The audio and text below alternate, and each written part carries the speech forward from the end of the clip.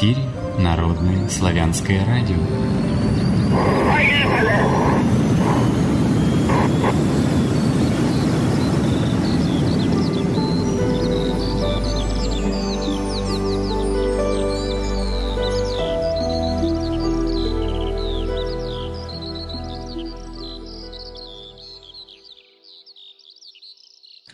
Всем здравия! С вами Народное славянское радио, Алексей Орлов. Сегодня у нас по одному из современных календарей 13 декабря 2016 года, вторник. По одному из старинных третий день месяца Белого Сияния, покоя мира 7525 лета, пятница. Мы начинаем наш эфир, который будет посвящен теме «Человек и Вселенная. Кризис физики». Автор-соведущий, вам хорошо известный, Леонид Григорьевич Фиденко. Здравия, Леонид Григорьевич. Здравия, Алексей. Здравия, уважаемые радиослушатели. Итак, мы, наверное, проведем наш эфир в таком формате. Сначала две части, большая, потом маленькая в виде доклада, и потом перейдем уже к беседе и к вопросам от наших радиослушателей.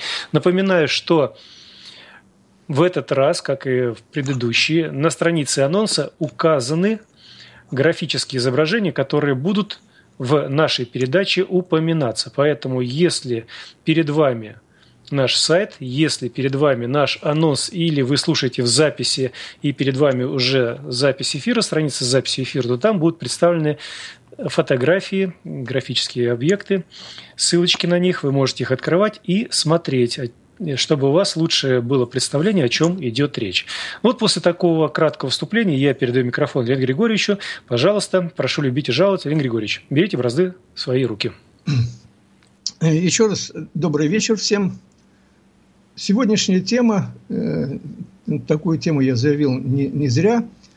Э, вот с середины 20 века – хотя мы будем говорить о физике, да, но вопрос все равно будет касаться состояния современной науки. Вот с середины 20 века современная наука стала получать в свой адрес многочисленные критические оценки со стороны философов, культурологов, ну, деятелей литературы и искусства. И вот по, по их всех мнению, техника разрушает человека, окружая его искусственными предметами – она отторгает его от живой природы, вергая безобразно унифицированный мир. А в этом мире, где промышленное производство превратило человека в придаток машины, а решение всех проблем видится в дальнейших технических достижениях, а не в человеческих их решении. И вот под воздействием нескончаемых технических новшеств современная жизнь меняется с неслыханной быстротой – мы все являемся свидетелем этому. И к этой критике в середине 20 века добавились конкретные факты неблагоприятных последствий научно-технического прогресса. Это и опасное загрязнение воды, воздуха, почвы планеты, вредоносное воздействие на живую и растительную жизнь, вымирание бесчисленных видов, коренные нарушения в экологической системе планеты. Все эти серьезные проблемы – встали перед человеком. И эти факты, они отчетливо проявляются в современной науке и мировоззрении и говорят об их кризисе. И разрешить которым сможет только новая глобальная мировоззренческая революция, частью которой будет и новая революция в науке. Ну вот э, для простого человека, да, э, кто наукой, допустим, не занимается или не интересуется, утверждение кризиса физики кому-то может показаться довольно странным. Вообще-то исторически и логически в физике заложена познавательная программа.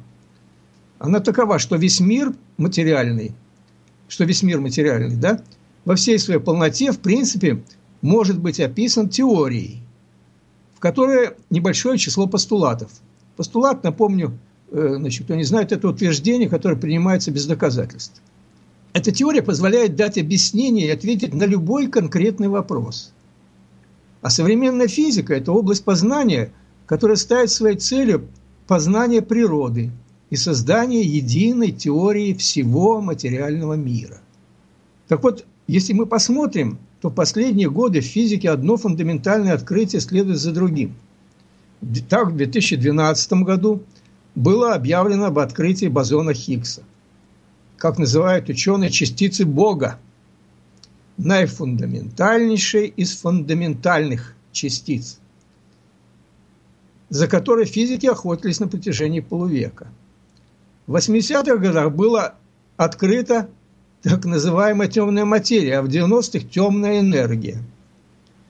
Правда, до сих пор ни та, ни другая пока не получили объяснения. Тогда о каком же кризисе можно идти и вести речь при таком урожае на большие открытия? В чем же здесь дело? Человек вообще последние несколько тысяч лет постоянно пытался осмыслить окружающий космос. И создавал разные модели Вселенной и представления о месте человека в ней. И постепенно, постепенно эти значит, представления сформировались в так называемую научную теорию Вселенной. И окончательно как бы она сформировалась э, в середине 20 века. И основой существующей сейчас теории Большого Взрыва стала теория относительности Альберта Эйнштейна. А от того, как теория Вселенной отражает истинное положение вещей, зависит не только правильность представления человека Вселенной, но и будущее самой цивилизации. Потому что на основе созданным человеком представлений о окружающей природе человек создает значит, машины, приборы, технологии. И от того, значит, какими они будут, эти технологии, создаваться, и машины, и приборы, будет существовать, э, будет ли существовать земная цивилизация или нет. Вот пример простой. Создали атомное оружие, разработка которого считается высшим достижением. Но если, вы прекрасно понимаете, если даже часть накопленного оружия взорвать, наша планета погибнет. Так вот, из понятий чисто теоретических представления о природе Вселенной перешли в категорию понятий, от которых вот, зависит будущая цивилизация и жизни даже на планете. И поэтому какими будут эти представления? Они должны волновать не только философов и ученых естественных наук, а каждого, получается, живущего человека на Земле. Поскольку представления о природе Вселенной, если они правильные, они могут стать ключом к невидимому прогрессу цивилизации. А если неправильные, может привести к гибели цивилизации и всей жизни на планете, нашей Земля. И поэтому, получается, правильное представление о природе Вселенной будут созидательными, созидающими, а ошибочные – разрушающими. Но, к сожалению, большинство людей, называющих себя учеными – забыли эту простую истину и увлеклись сознанием теорий, которые в большей степени служат их личным амбициям, а не служат для познания истины. А вот ложные ошибочные представления о природе Вселенной, они уже стали причиной экологической катастрофы, которой так уверенно движется наша земная цивилизация. И подтверждение этому столько уже, что ну, вы видите в интернете, постоянно по радио, по, э, значит, по телевидению. И у любого человека, который имеет желание это видеть, даже никакого сомнения не возникает по этому поводу. Это все говорит о том, что технократический путь развития, по которому пошла наша цивилизация, ведет к самоуничтожению земной цивилизации. Вот современная наука, она накопила столько наблюдений огромное количество за происходящим в окружающем нас мире. Этот мир по всем, э, так сказать, философским э, э, известным парадигмам называется срединным. Знаете, какой индусов там, китайцев даже, да. То есть этот мир на самом деле срединный. То есть мы живем в этом срединном мире, и он находится между макромиром и микромером. А в нашем современном мире человек э, наблюдает только проявление истинных законов природы.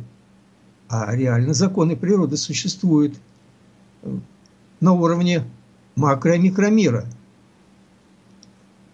И тут это очень э, четко становится понятным, если подумать, что человек ведь способен воспринять значит, только лишь через свои пять органов чувств окружающую действительность. А это лишь верхушка маленького айсберга. А все остальное, э, это, как говорил и писал в своих трудах Иммануил Кант, это вещь в себе, непознанная, непознаваемая. И вот это такое понимание, что все непознаваемое, да, будет неизбежным в силу того, что, используя пять органов чувств, невозможно создать правильную картину мироздания по одной простой причине. Наши органы чувств человека сформировались в результате адаптации его к условиям существования вот э, в той экологической нише, которой э, он, человек как вид живой природы занимает. И эти органы чувств человека позволяют нам прекрасно освоиться в этой экологической нише, ориентироваться, но не более того. То есть эти органы чувств, они предназначены для срединного мира, а не для чего-то другого. Мы, если мы попадаем в воду, э, у нас э, откроем глаза и начинаем смотреть в воде, у нас картина совершенно искажена. И нам достаточно трудно ориентироваться в этой стихии. Так вот, человек создал очень много разных приборов, которые помогли э, проникнуть и в микрокосмос, и в макрокосмос, то есть и микроскопы, и телескопы. И вот посредством этих приборов, которые человек создал, он и смог проникнуть в этот микро- и макромир. Но проблема-то оказывается в том, что человек с помощью этих приборов просто расширил свои возможности своих органов чувств. А с самими органами чувств ничего не сделал. То есть, глядя в микроскоп или в телескоп, мы просто э, расширяем возможности зрения, да, и видим под микроскопом э, картинки какие-то наномира, а в телескоп мы видим, наблюдаем Луну и прочие вещи. Но от этого наши глаза не приобретают никаких э, новых свойств. То есть вот невозможно же ушами увидеть красоту цветка, так и невозможно посредством пяти органов чувств проникнуть в этот микромир и макромир. То есть, э, как говорил, опять же, вернусь к Канту, да, человек получил, то, что человек получил с помощью э, подобных приборов, не позволяет проникнуть в непознаваемое. Как я уже говорил, Кант, то, что Кант называл вещь в себе – но вот это позволяет увидеть ошибочность созданных человеком посредством пяти органов чувств представлений о самой природе, и в том числе и Вселенной. Вот и именно из-за того, что он, у нас ограничены инструменты познания самого человека, возникла и стала формироваться искаженная ложная картина мироздания. Поскольку мы наблюдаем только частные проявления законов природы – а человек из-за этого был вынужден пойти, и, а точнее его еще и повели по ложному пути познания природы Вселенной. Вот э, если исходить из логики, то при правильном развитии человеческих представлений о природе Вселенной, вот число э, принятых постулатов, то есть э, утверждений, которые принимаются без доказательства – должно постепенно, постепенно уменьшаться до тех пор, пока останется, ну, один-два постулата, которые вот не, так сказать, не требуют никакого объяснения, поскольку они очевидны. И вот э, таким, например, постулатом является постулат объективной реальности материи, которая дана нам в наших ощущениях. Вот э, еще раз повторюсь, вы знаете, что Э, определение существует, что такое материя. Материя – это объективная реальность, которая дана нам в наших ощущениях. Вот это постулат единственный. Вот если бы он один остался, тогда бы мы считали, точнее ученые считали бы, что вот, да, это истинная картина мира. А что же мы имеем? То есть в природе есть целый ряд излучений, которые оказывают реальное воздействие, совершенно реальное на физическую плотную материю. Но человек их совершенно не воспринимает с помощью своих органов чувств. Но это же не значит, что эти формы материи нереальны. Например же, большинство людей не в состоянии воспринять через органы чувств весь 100% или хотя бы 90% 99 спектра электромагнитных колебаний. Хотя а, о котором достаточно хорошо известно благодаря тому, что созданы приборы.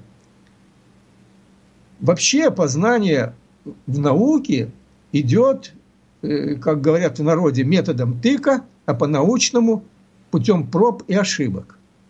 Но э, в нормальной ситуации каждая отвергнутая практика теория, она вообще-то несет положительный эффект.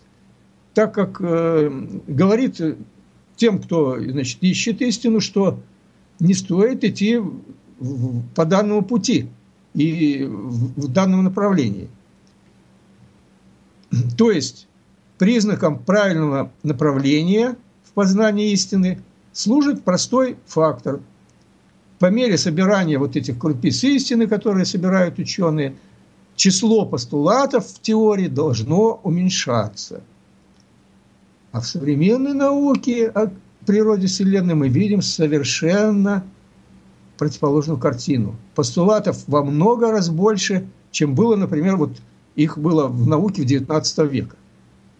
И при этом вот число постулатов растет как снежный ком. Но ученые и все остальные к этому так привыкли, что никто не обращает внимания на присутствие постулатов практически э, ну, чуть ли не в каждом так называемом научном утверждении. Вот самая элементарная вещь, которая известна в школе, с которым сталкиваются э, и школьники, и утверждения про электрический ток, да? И академики, и инженеры все. И инженеры, включая ежедневно электробритву в сеть или же утюг. То есть а, э, в школьном учебнике написано, электрический ток – это направленное движение электронов от плюса к минусу. И вот в этом определении четыре постулата. То есть вопрос, что такое электрон, что такое плюс, что такое минус, и почему электроны двигаются от плюса к минусу, не знает современная наука. Если задать эти вопросы, все честно говорят, ученые – это одному Богу известно. То есть в простом определении, которое преподносится как закон природы электрического тока, четыре постулата. И причем такие вещи не предел. Потому что вот все законы, так называемые, которые наука считает незыблемыми, они, куда, как считается, проникло человечество, это заявление вот такого же подобного рода. Получается ситуация интересная. Если кому-то удается найти слово, с помощью которого можно обозначить природное явление, считается, что проблема решена. И произошло новое научное открытие. Вот простая вещь, вот простой пример. Вот я уже говорил, в 80-м году открыли темную, э, неизвестную материю, да? И назвали ее темной. Все. А реально получается ситуация следующая. Галактики, звезды, планеты – вполне реальные материальные объекты космоса. Они двигаются по траекториям, и ученые определили, что чтобы они двигались как раз по этим траекториям, материи во Вселенной должно быть в 10 раз больше – но по понятиям современной науки, то, что является материей, составляет только 10%. Вдумайтесь, десятая часть. А теперь представьте себе, у нас есть картинка из 100 пазлов, а у нас 10 только известных. Получим ли мы картинку, если соединим 10 пазлов? И вернемся к материи, да? Материальные объекты движутся по траекториям, а реально получается, ведь только 10% известно, значит, эти траектории у них не должно быть. Но они же движутся. Как, как, дел, как быть-то? Факты вещи прямые, от них же не отделаться. И вот ученые, чтобы из очередного противоречия как-то выпутаться, привели, приняли простое решение, в кавычках. 90% материи, которую никто не может потрогать руками и воспринять, назвали просто, и с помощью органов чувств не могут определить, назвали просто темная материя. По-английски dark matter. И все успокоились, все отлично. Потом назвали, открыли эту темную энергию. Мы каждый день слышим про энергию и разного рода химическую, ядерную, механическую, потенциальную, кинетическую, куча энергии. Да? Но реально, никто, опять же, никто не задумывается, как может существовать энергия сама по себе. Энергия сама по себе не существует – реально энергия – это переход материи из одного качественного состояния в другое, когда меняются свойства и качества. Ну, простой пример. Бросили деревянное полено в костер. Оно сгорело. И выделилась энергия. И мы сели у костра и погрелись от этого тепла.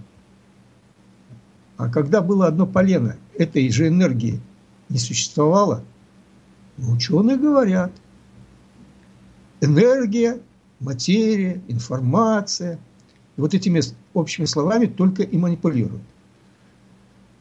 То есть современная наука имеет дело только с проявлением законов природы в Срединном мире. С процессами, которые происходят между макромиром и микромиром. И она между, выступает в роли стороннего наблюдателя. И все. И если бы по мере эволюции представлений о природе Вселенной, вот как я уже говорил, число постулатов уменьшалось бы, и остался бы хотя бы, не остался бы ну, один постулат, очевидность которого не вызывало сомнения, то э, таким очевидным постулатом является понятие материи, как объективной реальности, данной в наших ощущениях.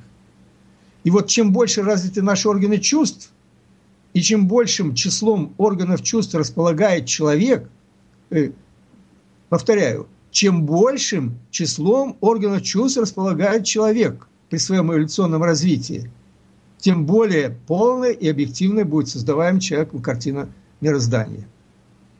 А как же, если у нас всего этих органов чувств ограничено количество, как нам говорят Э, ученые. Вот у нас всего лишь там пять. Но об этом чуть позже. Но, к сожалению, при развитии науки вот число постулатов не уменьшается. Я уже говорил, а наоборот, как снежный ком увеличивается. И на, на современном этапе наука имеет ну, сотни постулатов. Вот почитайте Википедию и э, откройте там любой, э, так сказать, раздел, и где там определяется. И там одно слово определяется вторым словом и так далее, и так далее. Там такая круговерть, цепочка. При этом для объяснения одного постулата вводятся другие, а для объяснения этих других вводятся, в свою очередь, новые, и так до бесконечности. И таким образом каждый постулат превращается в Господа Бога. И религия для объяснения всего сущего ссылается на Творца, Господа Бога, а в то время как научное объяснение всего сущего строится на постулатах, которые по своей сути являются мини-башками от науки. И в одном случае, значит, в случае э, с религией Господь Бог э, как бы располагается на вершине логической системы, да, а в случае современной науки в фундаменте логической системы – но от того, где располагается Господь Бог, ничего не меняется. Только в одном случае логическая система называется, представление называется религия, в другом наукой. В одном случае однобожие, да, в другом многобожие, постулаты. И вот серьезную проблему в современной науке наблюдается не только на микроуровне, на макроуровне. Вот, например, в экспериментах, когда проводились э, значит, по синтезу элементарных частиц. Ну, вы периодически слышите, да, что появляются физики, открыли, ядерщики открыли там в таблице Менделеева новый этот, э, элемент. Да? И также значит, э, открывают и синтезируют новые элементарные частицы. Так вот, физики ядерщики столкнулись с чем? Когда они э, при синтезе элементарных частиц столкнулись с таким явлением, которое, ну, в принципе, ставит крест на всей современной физике. Что происходит? Значит, а происходит следующее. При синтезе новой частицы, вот согласно законам физики, ее масса должна быть или меньше, или равной э, э, массе частиц совокупной тех частиц, которые создали ее. Так э, вот закон существующий краеугольной современной физики, закон сохранения материи гласит. Не суть этого закона состоит в том, что материя никуда не исчезает и никуда и ниоткуда не появляется. А в экспериментах получается по синтезу частиц. Здрасте, приехали, что называется, по-простому. Масса вновь возникающих частиц оказывалась порой на несколько порядков, не, не на чуть-чуть, а в 10-100 раз больше. То есть есть приборы реальные, которые регистрируют реальные частицы – все реально. Результаты невероятные. То есть современная теория, получается, утверждает, что подобного быть не может никогда. А практические результаты говорят, нет, это происходит. И перед учеными вопрос встает, что же отстаивать-то? Практические результаты или теоретические положения? Но для нашей современной науки практические результаты оказывается, не так важны, если они не вписываются в прокрутство ложи этой самой науки. И вместо того, чтобы пересмотреть этот фундамент самой науки, его пытаются дополнить новыми постулатами и новыми предположениями. Но самое интересное, мы сейчас говорим о значит, э, проблемах, существующих в физике, да, которые возникают у физиков-теоретиков – но такие же проблемы возникают и не только у физиков, но и, например, у биологов и медиков. То есть они же, ученые, которые изучают жизнь, они не могут объяснить природу жизни. Каким образом те же атомы, которые, ведь они базируются на тех знаниях, которые им дает физика. Почему, так сказать, я и назвал этот материал, что кризис физики. Это же те же Э, значит, биологи и медики, они э, говорят о том, что все состоит из атомов и молекул. Но они не могут объяснить, те, кто изучает жизнь, каким образом эти же самые атомы, соединяясь между собой в каком-то одном пространственном порядке, с одной стороны представляют мертвую материю, а в другом случае живую. Как это происходит? Но это же получается мелочи, понимаете? А эти ученые, биологи, медики считают себя экспертами в вопросах жизни. А эти вещи объяснить не могут. И значит, на вопрос, э, каким, э, значит, каким образом происходит развитие эмбриона человека, и так же, как, ну, неважно, не обязательно эмбрион человека, как же, так же, как и любого другого живого организма – при, когда задают вопрос, у них э, ответов нет, а есть только один ответ, что вот зиготная клетка, клетка эмбриона, в этих разных зиготных клетках появляются разные гормоны и ферменты. И поэтому, из, как следствие этого, из одной зиготной клетки развивается мозг, из другой там нога, из третьей сердце, печень, легкие и, так, и тому подобное. И опять же, все как э, э, с электрическим током из учебника средней школы. Но если почитать учебник средней школы по анатомии и физиологии человека, там же тоже написано, что любой эмбрион развивается из одной, из одной аплодотенной яйцеклетки, которая начинает делиться. А делится по законам она, по законам науки о клетках. Гистология, по-моему, называется. Так вот, э, определение одной клетки сначала возникает две абсолютно тождественные друг другу клетки. Потом они в свою очередь делятся, четыре возникает тождественные. И далее 8, 16, 32, 64 и так далее. То есть, э, другими словами, если говорить, все клетки эмбриона имеют тождественную генетику. И они копиями являются одной оплодотворенной яйцеклетки. И поэтому сразу возникает вопрос, каким образом в абсолютно тождественных клетках появляются разные гормоны и ферменты. И все, и опять ответ. Одному Богу известно. И этот и, ученые значит, совершенно спокойно, я вот часто иногда смотрю передачу по э, общественного э, радио телевидения, общественный ОРТ называется – и там вот э, ведущий обычно приглашает двоих э, собеседников, и, и они совершенно спокойно, обсуждая вопросы жизни вот этих э, оплодотворенных клеток, о которых я только сейчас говорил, совершенно спокойно говорят, ну, это же нам неизвестно, но тем не менее, вот так и так и так, так, так, и делают какие-то свои предположения.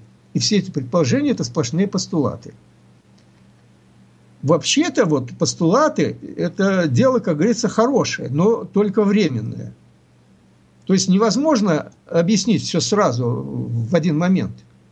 А когда что-то объясняется, какие-то принципиальные вещи, моменты, да, то надо, чтобы временные постулаты, которые ранее вводились без какого-то объяснения, они, так сказать, раскрывались. И в этом варианте временное постулирование играет положительную роль. Но ведь проблема э, существует в том, что современная наука не имеет временных постулатов. То есть э, идет постоянное постулирование. Одно объясняется другим постулатом, э, те объясняются еще новыми и так далее, и так далее. То есть вот как раз то, что я говорил выше, постулаты превращаются в башков от науки. И в этом случае реально наука превращается в религию. И, ну, причем, вот, как я уже говорил, слушая э, известных ученых, докторов наук, э, их объяснения, получается, что они, э, заявляя вот такие вещи, становятся священниками этой науки. Ну, теперь давайте посмотрим, э, на каких э, значит, трех китах стоит современная наука естествознания.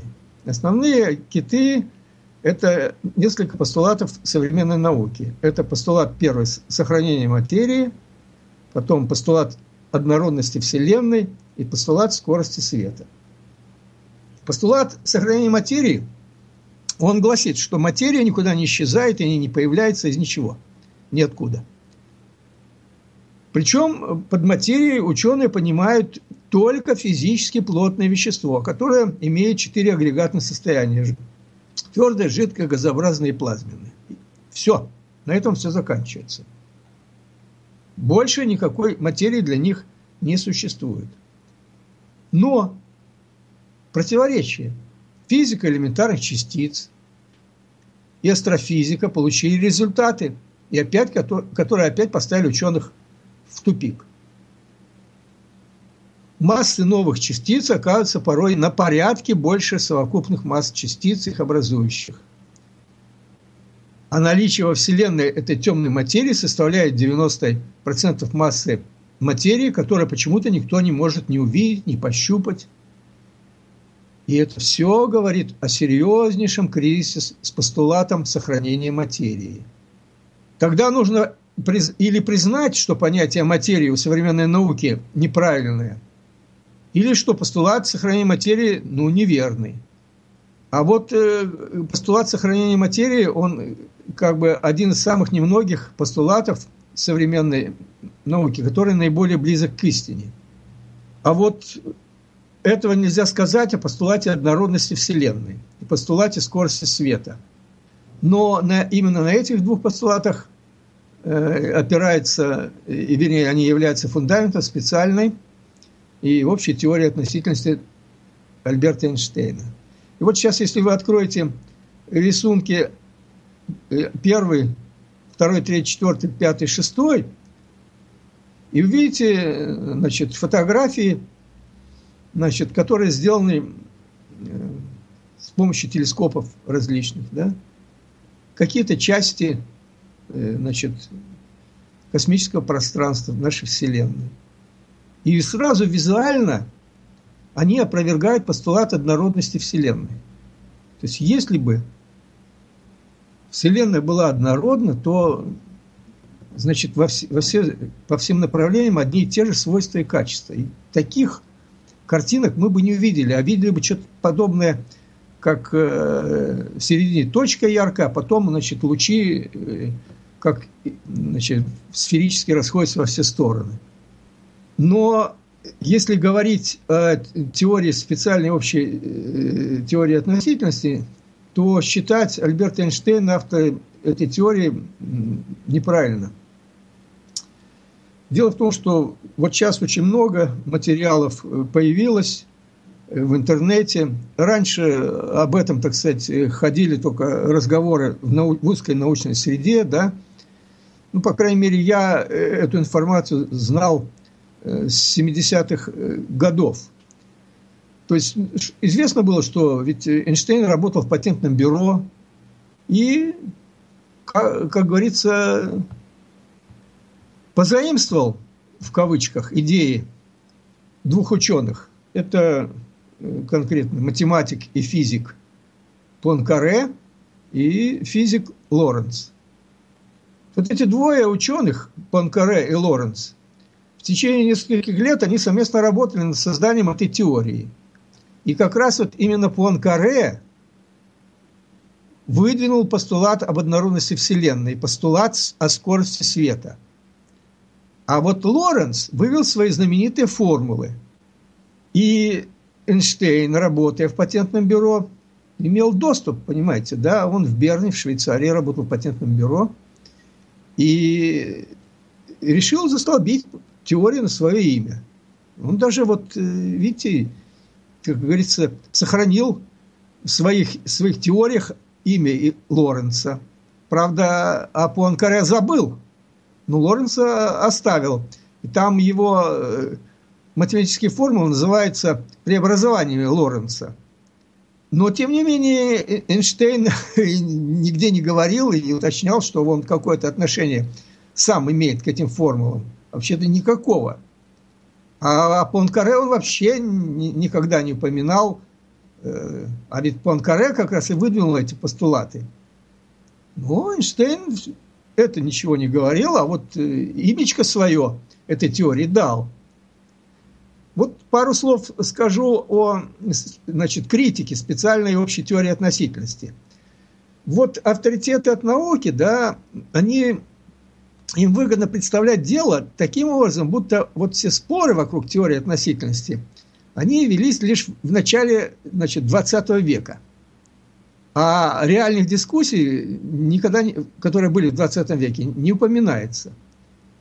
А эти дискуссии были. Они были как и э, по философскому направлению, так и по физическому.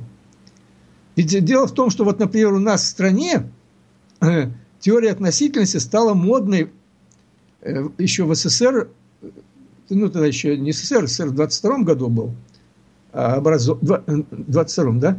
А, а это в 2020 году стало модной. Потому что тогда, знаете, была, как сейчас говорят, широкая пиар-компания, то есть рекламная кампания с ноября 1919 года. Поддержку этой общей теории относительности АТО начинаются в газетах постоянные публикации, публичные выступления перед э, неспециалистами, школьниками, домохозяйками. Э, на Западе к рекламе даже привлекался Чарли Чаплин – а для того, чтобы получить поддержку в СССР, э, товарищ Эйнштейн, так сказать, товарищем я его назвал, да, а оказалось, ему достаточно было вступить в 19 году в Компартию Германии. Но он там долго не задержался, полгода всего вышел, но этого хватило для рекламного трюка, и он стал другом страны Советов. И этот вот статус друга СССР и всего прогрессивного человечества с Эйнштейном остался и в дальнейшем, гарантируя поддержку всем его теориям. А с 20, 1922 года Эйнштейн становится уже член корреспондентом Российской Академии Наук, а с 1926 иностранным почетным членом Академии Наук СССР. Как Академия реагировала на теории АТО и СТО? Общую теорию действительно специально. В 1938 году Академия вдвое, э, во все совсем не финансировала работ, которые в чем-то противоречили теории относительности. То есть это позиция, понимаете? Противоречит, все, денег не дадим. Второй раз постановление, которое запрещало критику теории относительности было принято Академией наук, точнее ее значит, э, президиум Академии наук СССР в 40, 1942 году. Была юбилейная сессия, посвященная 25-летию революции, и э, президиум Академии наук принимает специальное постановление по теории относительности. Вот э, отрывок из формулировки. Действительное научно-философское содержание теории относительности представляет собой шаг вперед в деле раскрытия диалектических закономерностей природы. То есть какие еще доказательства нужны высокой поддержки теории относительности?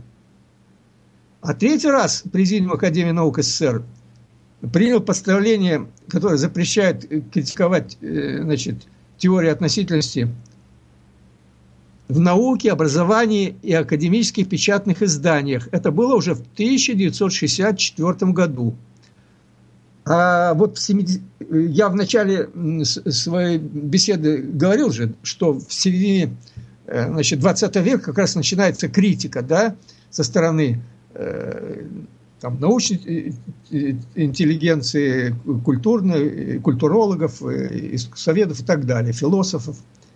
И вот как раз 70-е годы, знаете, это такой период, что начали э, очень интересоваться значит, э, вопросами Вселенной. И издавали сборники различные. Например, в Ленинграде в 70-е годы издавался сборник «Проблемы исследования Вселенной».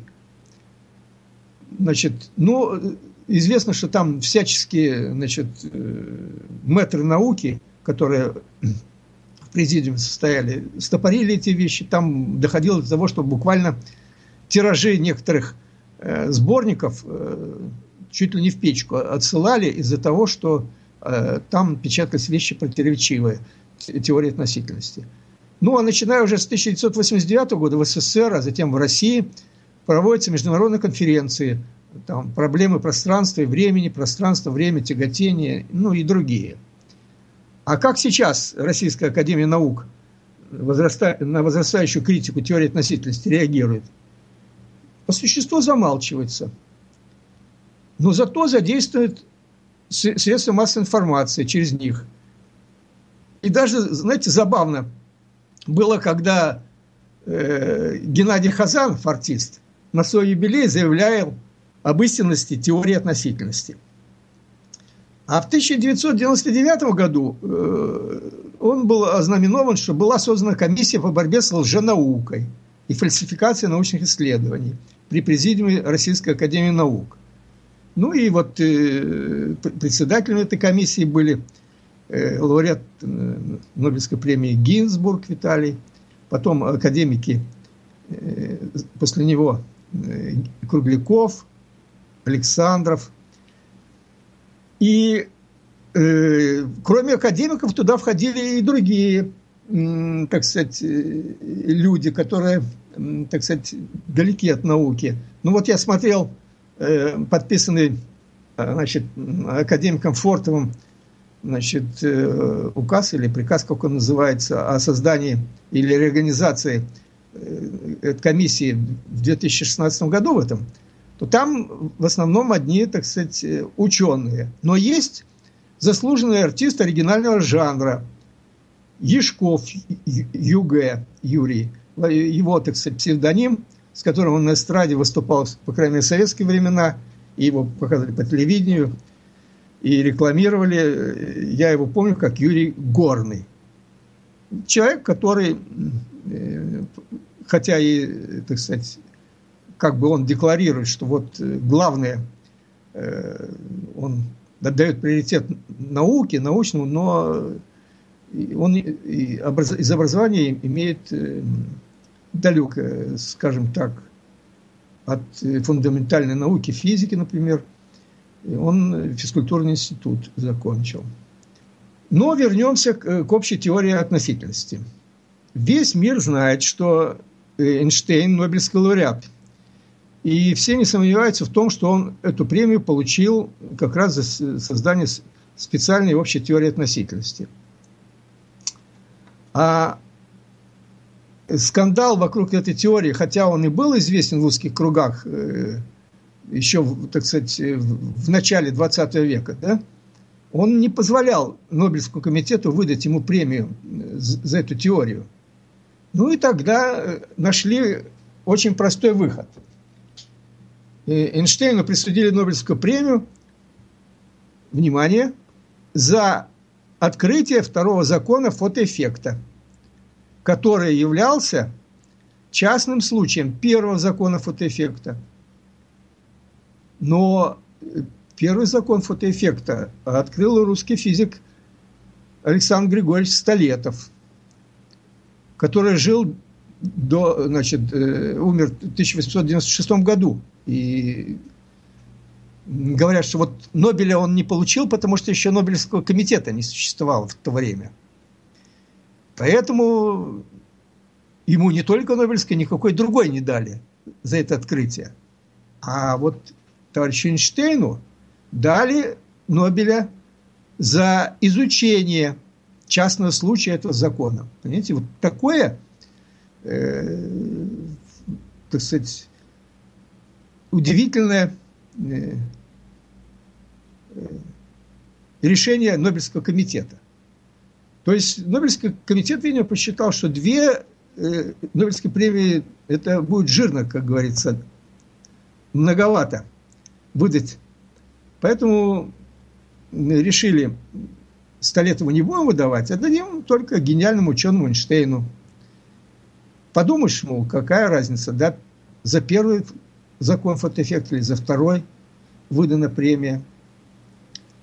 Самое главное, что за открытие присуждена премия гениальному ученому, Эйнштейну. А вот что русский какой-то там физик Столетов это открытие сделал, ну, это уже мелочи. Ну, что вы там, не обращайте внимания. Вот самое главное, что товарищ Эйнштейн стал Нобелевским лауреатом. И поэтому основная масса людей сейчас практически и, и считает. Ведь эти вещи никто э, так сказать, из простых людей, кто не интересуется этими вещами или не работает в этой сфере, не знает, что Эйнштейн, и считает, что Эйнштейн получил э, Нобелевскую премию за великую свою специальную общую теорию относительности.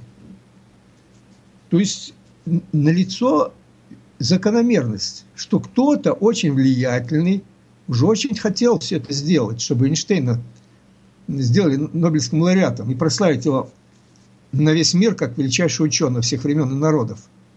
А, значит, причина этому должна быть. Видимо, была сделка между Эйнштейном и теми лицами, которые сделали его Нобелевским лауреатом. Видно, ему уже очень хотелось быть Нобелевским лауреатом и величайшим ученым всех времен.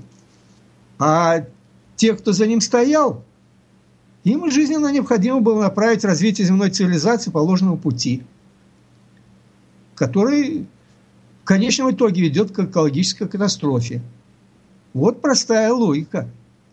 А Эйнштейн согласился быть, э, так сказать, винтиком или инструментом этого плана – но, видимо, выставил свои требования. Хочу быть Нобелевским лауреатом. Ну, сделку совершили. И поэтому ту фотографию, которую я привел, на э, коллаже, на, на вставке о сегодняшней беседе, да, там вы видите Эйнштейн с высунутым языком, да, и теперь достаточно понятно, почему и кому он показывает свой язык. Приобретает это совершенно другой смысл. Ну, я думаю, вы догадались. Вообще-то, конечно, плагиат не такое и редкое явление в науке, не только в физике. Вот из школьных учебников, ну, все, многие знают, что э, значит, подтверждение теории э, э, Альберта Эйнштейна экспериментами подтверждалось экспериментами опытов Майкельсона Морли. Но мало кто знает, и если только кто там интересуется, копал по этому поводу, что вот этот интерферометр, который использовался в экспериментах Майкельсона Морли, в нем свет проходил в общей сложности всего лишь расстояние 22 метра. Кроме того, все это было э, значит, в подвале каменного здания, это практически уровень моря. И всего эксперименты проводились 4 дня в 1887 году. И данные с интерферометра снимались целых 6 часов. И было совершено 36 поворотов прибора. И вот это, то, что я сейчас перечислил, является экспериментальной базой, на которой, как на трех китах, держится подтверждение правильности, в кавычках, как специальной, так и общей теории относительности Эйнштейна. Но, опять же, мало кто знает, что американский физик Дайтон Миллер, который жил 1866-1941 годы, в 1933 году опубликовал в журнале «Обзор современной физики» значит, свои результаты, потому что э, он исследовал вопрос так называемого эфирного ветра. И исследованием он занимался более чем 20 лет. И во время этих э, экспериментов он получил положительные результаты в подтверждении существования эфирного ветра. Ну, то есть начал он свои эксперименты в 1902 году, а завершил аж в 1926. А там э, у Майкельсона Морли. Четыре дня в одном году. А тут человек занимался 24 года. Дальше. Для своих экспериментов он сделал интерферометр более усовершенствованный. И э, у него общий пробег луча был 64 метра. А там, я уже говорил, 22 метра. То есть он в три раза был более чувствительный, чем э, использовали Майкельсон и Морли в своих экспериментах. И замеры снимались в разное время суток, в разные времена года. Показания были сняты более 200 тысяч раз. А там 6 часов всего. А тут 22 года. К тому же, поворот интерферометра во время экспериментов э, э, Майклисона Морли 36 всего, а тут 12 тысяч. Кроме того, там в подвале Морли проводил, да, я уже говорил, эксперимент. Это значит на уровне моря. А этот Дайтон Миллер поднимал на высоту горы Вильсона. Это более 2000 метров, где, как он и предполагал, скорость эфирного ветра была больше – так возникает вопрос, а что же э, товарищи Эйнштейн и компания не знали о результатах, не читали научных журналов э, об экспериментах Дайтона Миллера? Нет, оказывается, все прекрасно знали, и Дайтон Миллер значит, письма писал Эйнштейну, и значит, э, Эйнштейн однажды ему от, э, скептически ответил на, на одно из писем и потребовал доказательств. Он ему эти доказательства предоставил, э, после чего никакого ответа. Ну, э, вы понимаете, почему не было ответа. И ответа не было аж до 1941 года, когда э, Дайтон Миллер умер. Естественно, после этого забыли просто о результатах его работы.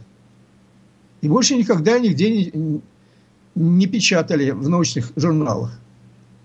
Кстати, э, значит, э, то, что касается значит, работ Дайтона Миллера, опять же, в России, в Советском Союзе, на пятом, по-моему, съезде физиков тоже с большим-большим трудом прошла значит, в поддержку значит, там выступление одного из ученых о том, значит, поддержку работ Дайтона Миллера. Еле-еле набрало большинство. Вот из, из всего вышесказанного а ведь э, Дайтон Миллер был одним из крупнейших американских физиков, а молчок до сих пор. И из этого становится понятным, что ложные представления о природе Вселенной человечеству навязаны преднамеренно, чтобы не допустить развития цивилизации по правильному пути. А причиной это было только одно – страх тех, которые стояли за Эйнштейном. Э, э, потому что они боялись потерять свою власть и положение. Но э, если э, говорить еще дальше, то вот страх перед истинным знанием, да, тех, кто скрывался, так сказать, за и скрывается, и навязывает э, человечеству ложное представление. Сокрытие истины, оно продолжалось довольно долго и успешно, и, значит, науку повели по ложному э, пути. Но, понимаете, в конечном итоге это что? Появились э, новые экспериментальные данные, и которые уже на другом качественном уровне совершенно не оставляют камня на камне, как и специальной, так и общей э, теории относительности Эйнштейна.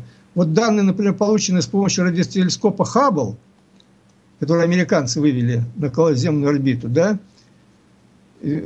после обработки этих результатов, этих данных, вернее, после обработки данных э, дали, выяснились неожиданные результаты. А, значит, ученые, там, физики из Рочестерского и Канзасского университета США, они анализировали э, радиоволны, которые пришли от 160 отдаленных галактик.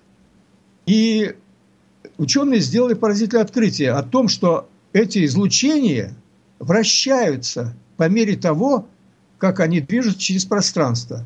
И э, видели они это вращение в виде едва заметного рисунка, который напоминает штопор.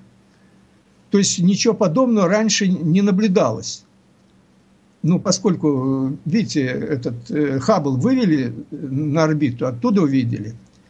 И вот эти значит, вращение, это, это, когда начали изучать этот рисунок, едва заметный, э, обнаружили, что полный оборот штопора наблюдается через каждый миллиард миль, через которые проходят э, радиоволны. А вообще эти эффекты, они уже являются дополнением к э, известному эффекту Фарадея. Это поляризация света, вызванная межгалактическим магнитным полем.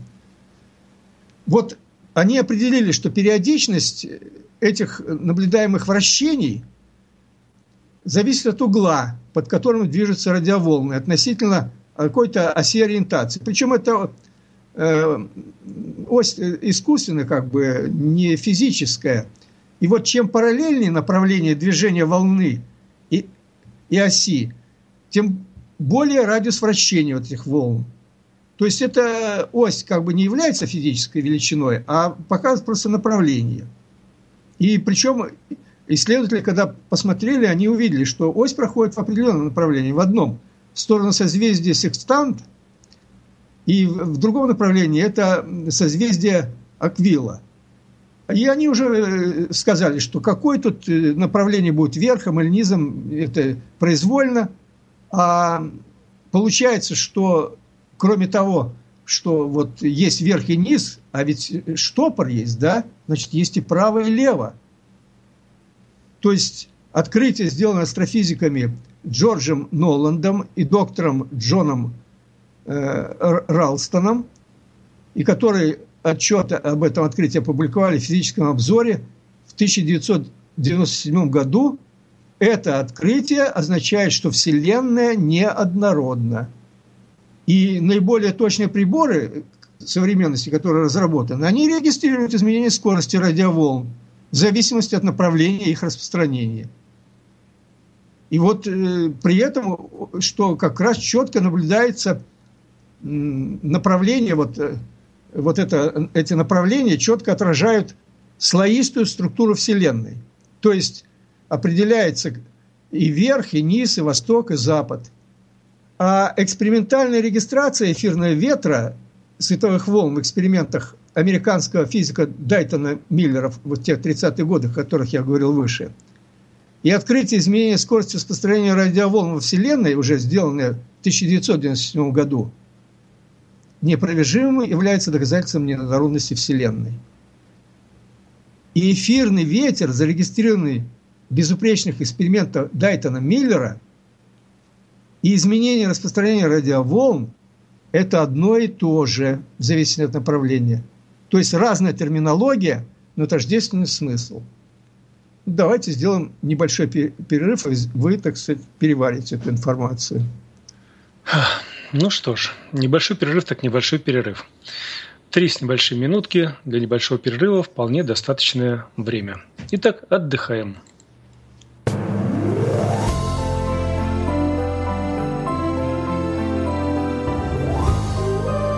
Вы слушаете Народное славянское радио.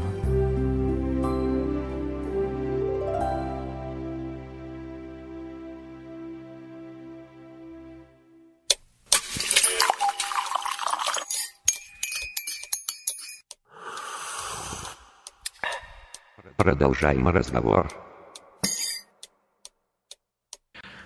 Продолжаем разговор на Народном славянском радио. Напоминаю, что сегодня у нас 13 декабря 2016 года, вторник по одному из современных календарей, по одному из старинных третий день месяца белого сияния покоя мира, пятница 7525 лета. Человек и Вселенная, кризис физики, такова тема сегодняшнего нашего эфира. Пока еще докладчик а не собеседник, докладчик Лен Григорьевич Феденко. Кстати, мне задают вопросы иногда по поводу, кто там у нас чего озвучивает, вот что такое у нас за диктор, который говорит «поехали» там или что-то еще, продолжаем разговор. Друзья мои, это у нас птица-говорун, кто еще не смотрел, посмотрите мультфильм «Тайна третьей планеты». Вот там такой персонаж есть, птичка, за которой охотились. Она там передавала важные сведения от одного командира корабля другому. Вот э, птица Говорун у нас является основным действующим персонажем, который сообщает что-либо, какие-то новости, анонсы и так далее. Просто для тех, кто думает, что это какой-то диктор живой, который таким вот голосом хитрым что-то там озвучит. Нет, это всего лишь навсего компьютерный робот. Вот он таким голосом что-либо озвучивает у нас. Ну, такое небольшое отвлечение. Леонид Григорьевич, пожалуйста, продолжаем. Да, мне тоже нравится птичка, ваша птичка Говорона. И голос его тоже. Значит, ну вот, э, продолжим. То есть э, мы остановились на том, что эфирный ветер, который зарегистрирован безупречных экспериментах э, физика американского Дайтона Миллера, и, опять же, изменение распространения радиоволн, которые обнаружили, которое идет от 160 далеких галактик – это одно и то же. То есть здесь разная терминология, а тождественный смысл. То есть э, э, это доказывает о том, что постулат значит, э, теории относительности Эйнштейна о неоднородности Вселенной, о однородности Вселенной неверен. А теперь второй разберем постулат. Это постулат о, скорости, о том, что скорость света постоянно и значит, является константой, и максимальной скоростью движения материи во Вселенной 300 тысяч километров в секунду. Но это, я, я думаю, многие знают. Но вот это условие э, постулата, оно почему было выбрано? Да потому что вот преобразование Лоренца и математические формулы, ну, кто их э, значит, читал, э, изучал, теоретической физике или в курсе э, там, какой-то другой физики, значит, э, они превращаются в бессмыслицу. При, в том случае, если значит, материя и даже свет движется с скоростью больше, чем 300 тысяч километров в секунду. Это все происходит согласно этим уравнениям.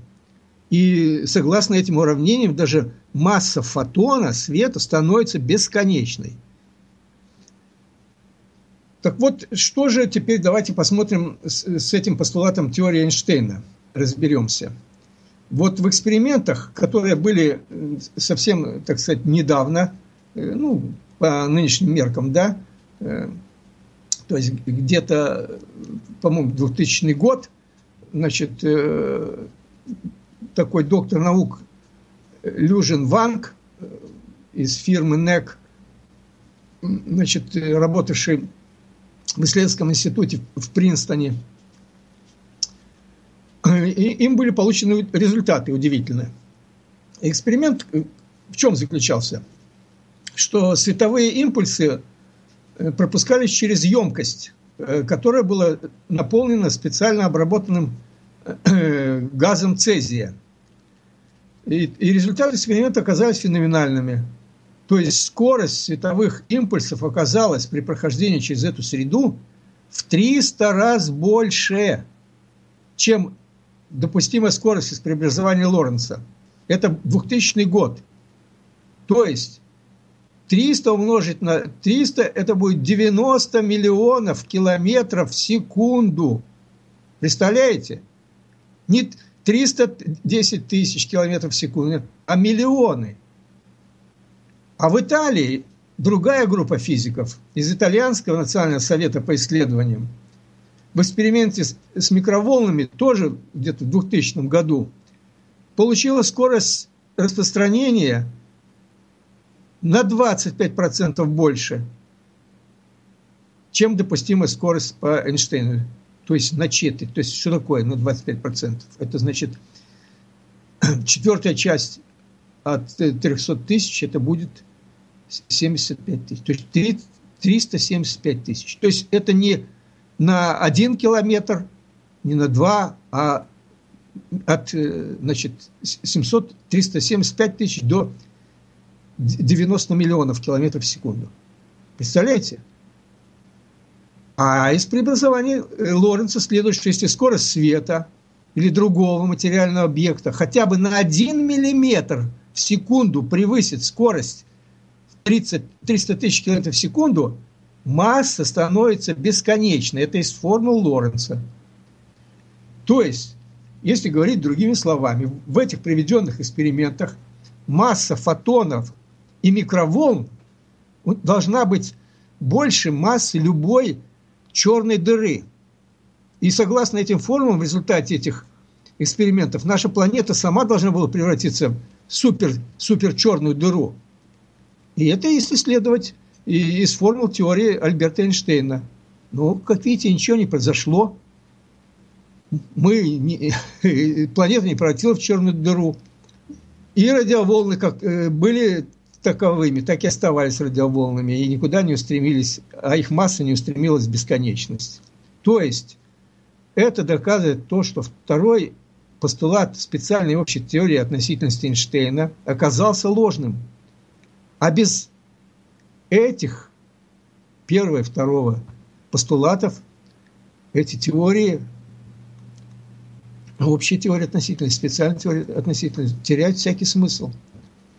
И в лучшем случае они должны были перейти в разряд истории науки. То есть, э, то есть гипотеза не оправдалась. И она подтверждена, это неоправдание э, значит, подтверждена экспериментальными данными. Ну, самое интересное, ведь смотрите, Миллер, э, Дайтон Миллер 1933 год опубликовал свои данные. 97-2000 год эти новые открытия, о которых я говорил выше, и во всем мире продолжают изучать в школах, в институтах, в университетах. Везде трубят великий ученый Эйнштейн и теорию Эйнштейна, как теорию, которая отражает реальность. А создатель специальной общей теории относительности, стоящий за ним, получается, с самого начала знали о том, что эти теории не отражают действительность даже частично. И тем не менее, эти теории были навязаны всему человечеству. И в результате наша земная цивилизация пошла по ложному пути, в конечном итоге ведущему к самоуничтожению. Вы понимаете, вот что мы сейчас разобрали? Мы разобрали, что как какая-то теория конкретного ученого, она, оказывается, должна быть не безразличной любому человеку. И не только тем лицам, которые называют себя учеными, и которые, как часто у нас говорят, удовлетворяют свое любопытство за государственный счет. Как видно из этого анализа, получается знание, вернее, представление о природе Вселенной, как ни странно, имеет политико-финансовые корни. И навязывание ложных представлений человечества позволяет социальным паразитам процветать, паразитируя на теле земной цивилизации. Так вот, еще надо обратить внимание, хотелось бы мне обратить внимание на то, что вот эти вот теории да, ложных представлений навязываются через одним из инструментов является математика. Дело в том, что математику часто, вернее, постоянно используют как фундамент теоретических э, обоснований. И что делают? Берут реальные э, природные процессы, обозначают, обозначают какой-то буквой или символом, и в виде этих символов их вставляют в уравнение формулы и начинаются над ними манипуляции с этими символами, буквами. А по законам, принятым в математике, при этом забывают, что это природные явления и процессы. И они протекают независимо от того, какие представления существуют у человека. А над ними что делают? Математики берут производную, интеграл, устремляют к пределу, отбрасывают лишние слагаемые – Короче, делают все, чтобы получить изящную формулу закона природы. И говорят, вот мы добились результата. Смотрите, какая красивая формула. Мы получили результат. И вот наглядным примером этому служит вся теория относительности Эйнштейна. Вот кто не знает, например, с Эйнштейном очень долго работал известный значит, крупный математик Минковский который создавал специальный математический аппарат для того, чтобы, э, так сказать, подтверждать и обосновывать э, те э, результаты, эксперименты, которые проводились в базисе как раз этой специальной теории общей теории относительности. То есть получается, что единственной причиной, по которой были, по которой, вернее, был, да, были введены постулат однородности Вселенной, постулат скорости света, а без них преобразование Лоренца теряет всякий смысл. Это значит вся общая и специальная теория относительности. Потому что вот из преобразования Лоренца вытекает требование к скорости распространения материальных объектов в пространстве. И скорость любого материального объекта, включая свет, не может быть больше скорости света в вакууме не может быть больше по одной простой причине. Если скорость движения материального объекта будет больше этой константы, то тогда, согласно преобразованию Лоренца, масса этого материального объекта должна стать бесконечной, и включая условную массу фотона на микроуровне. Представляете, она тоже должна стать бесконечной.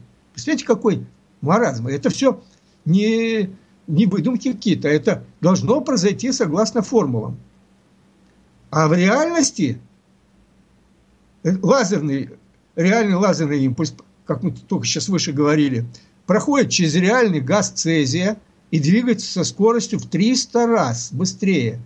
Как я уже говорил, 90 миллионов километров в секунду, чем позволяет эта формула преобразования Лоренца.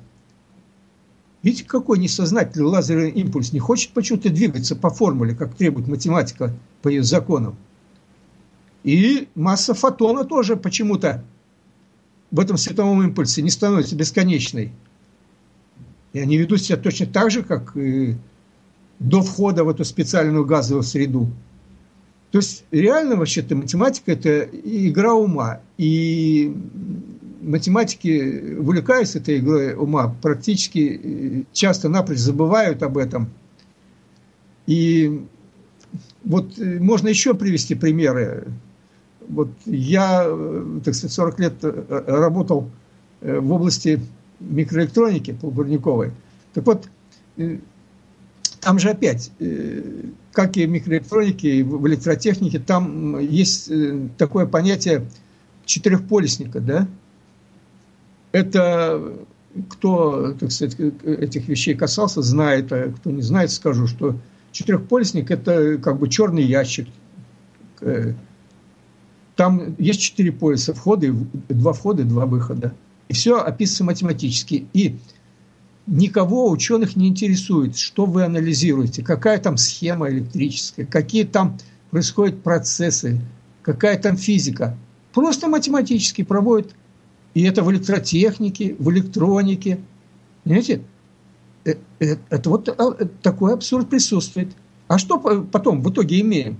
Ведь если бы вся, э, так сказать, существующие все теории науки отражали бы реальность, эти формулы, то приборы, которые, в частности, допустим, электронные приборы, изготовленные, микроэлектронные, по этим формулам, они не имели бы никаких разбросов, то есть никаких э, параметров, как вот существует параметр, он не тютелька в тютельку, не точно, он имеет разброс технологический, так называемый, в какой-то находится диапазоне.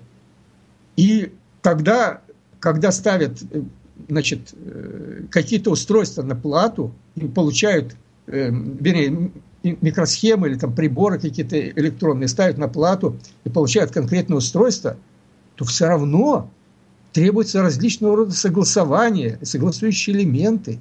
Понимаете? Ну, как интересно получается. Формула-то не работает. А когда человек после института приходит и после изучения теоретической физики и, и, или там, физики твердого тела ему говорят, вот есть значит, теория транзистора – она описывается вот такими уравнениями. Такое в теоретической физике большое уравнение, много, много там разных членов этому уравнения. А потом говорят, это отбросим, это отбросим. А приходит из института э, учебного или университета человек в научный институт, ему говорят, забудь, что там тебе учили. Так, а вот, а как же, там есть формула СА, теория транзисторов. Да забудь ты ее, у нас есть гораздо простенькие формулы корень квадратный, и там э, простые две формулы. И все. Вот по этим формулам считаем крутизну транзистор, то-то, то-то, то-то. Параметры определенные. И человек задумается, чему и меня учили там 6 лет в, в институте. То есть, понимаете, полный абсурд. Кроме того, вот, например, не знаю, не все, я думаю, знают, что существует значит, э, такое понятие, как мнимая единица. То есть есть единица, а есть мнимая единица. Ей оперируют, опять же, в электронике, электротехнике. И, и существует раздел математики, теория функций комплексной переменной. Понимаете? Вот надо что-то объяснить, вот и придумывают – то есть математика используется для... И создаются новые теории математические, и математический аппарат, и он очень-очень сложнейший. И порой а, некоторый математический аппарат понимает несколько человек, и они гордятся. Вы знаете, вот несколько человек только понимаем. И гордо ходят с гордо поднятыми головами. Так вот, этот математический аппарат для теоретической физики создается именно для того, чтобы э, описать те теории, которые создают ученые на кончике пера, как говорят. Или же значит, обосновать те э, значит, явления, которые э, наблюдаются в микроскопы и телескопы. А если вернемся опять к вопросу обмана, ну, обмануть, конечно, можно кого хочешь, но нельзя обмануть самого себя. можно, конечно, только прикинуться обманутым. Но тогда возникает вопрос, а для чего это обман и кому он нужен? Почему ученые или обманывают друг друга, или обманывают себя, вводят любые э, абсурды в современную науку, чтобы не допустить только пересмотра основ или принципов самой науки? И это не может быть случайностью или недоразумением. Понимаете, кто-то за этим стоит, и кому-то очень э, это надо, чтобы развитие человечества пошло по ложной эволюционной дороге. А кто прорывается, с теми значит, борются, устраняют, э, не, сохран... не дают финансовую э, поддержку и прочее. Кто-то прорвался через эту иллюзию реальности, уничтожается. Вот, например, как был уничтожен Николай Тесла – вы, наверное, многие знаете, американец чешского происхождения, который создавал приборы и устройства на основе ну, совершенно иных принципов. И эти приборы и устройства могли бы, как говорится, осчастливить человечество и сделать его свободных от энергетических кризисов и сохранить экологию планеты. Тесла разработал э, электрические генераторы, в которых не было ни одной движущейся части – и которые не требовали никакого топлива. Представляете, какая экономия, никакие углеводороды, не надо добывать ничего, ни газ, ни нефть, ни прочее, ни, ни жечь уголь и, и, и остальное. То есть электричество получалось напрямую из пространства. То есть он нашел, Тесла, простой и дешевый способ еще э, расщепления воды на кислород и водород – он создал ряд удивительных устройств и приборов. Ну, кто не знает, есть там, э, я вот, по крайней мере, знаю три книги. Почитайте о нем. Но самое интересное, он создал эти устройства, а после демонстрации своих приборов и устройств он неожиданно заболел и умер. А после его смерти все приборы и устройства из его лаборатории пришли представители государственных служб США и забрали. А саму лабораторию бульдозерами в прямом смысле снесли. И известно, что вот механик, который делал все эти устройства и приборы Тесла, тоже бес, бесчестно, исслез, э, бесчестно, бесследно исчез. И никто ничего не знает его, до сих пор его судьбе. А государство США оно, пожалуйста, как говорится, прихватизировало, незаконным образом захватило все созданное им, и до сих пор ничего в, э, в США, ни, ни в какой другой стране мира не появилось никакие электрогенераторы Тесла и другие его изобретения.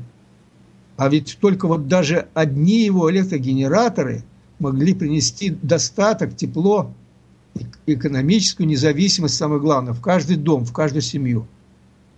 А так нас, как дойных коров, даят производители энергетики и наши ЖКХ. Ну, видите, этого не произошло. И энергетический кризис не исчез, а наоборот только обостряется.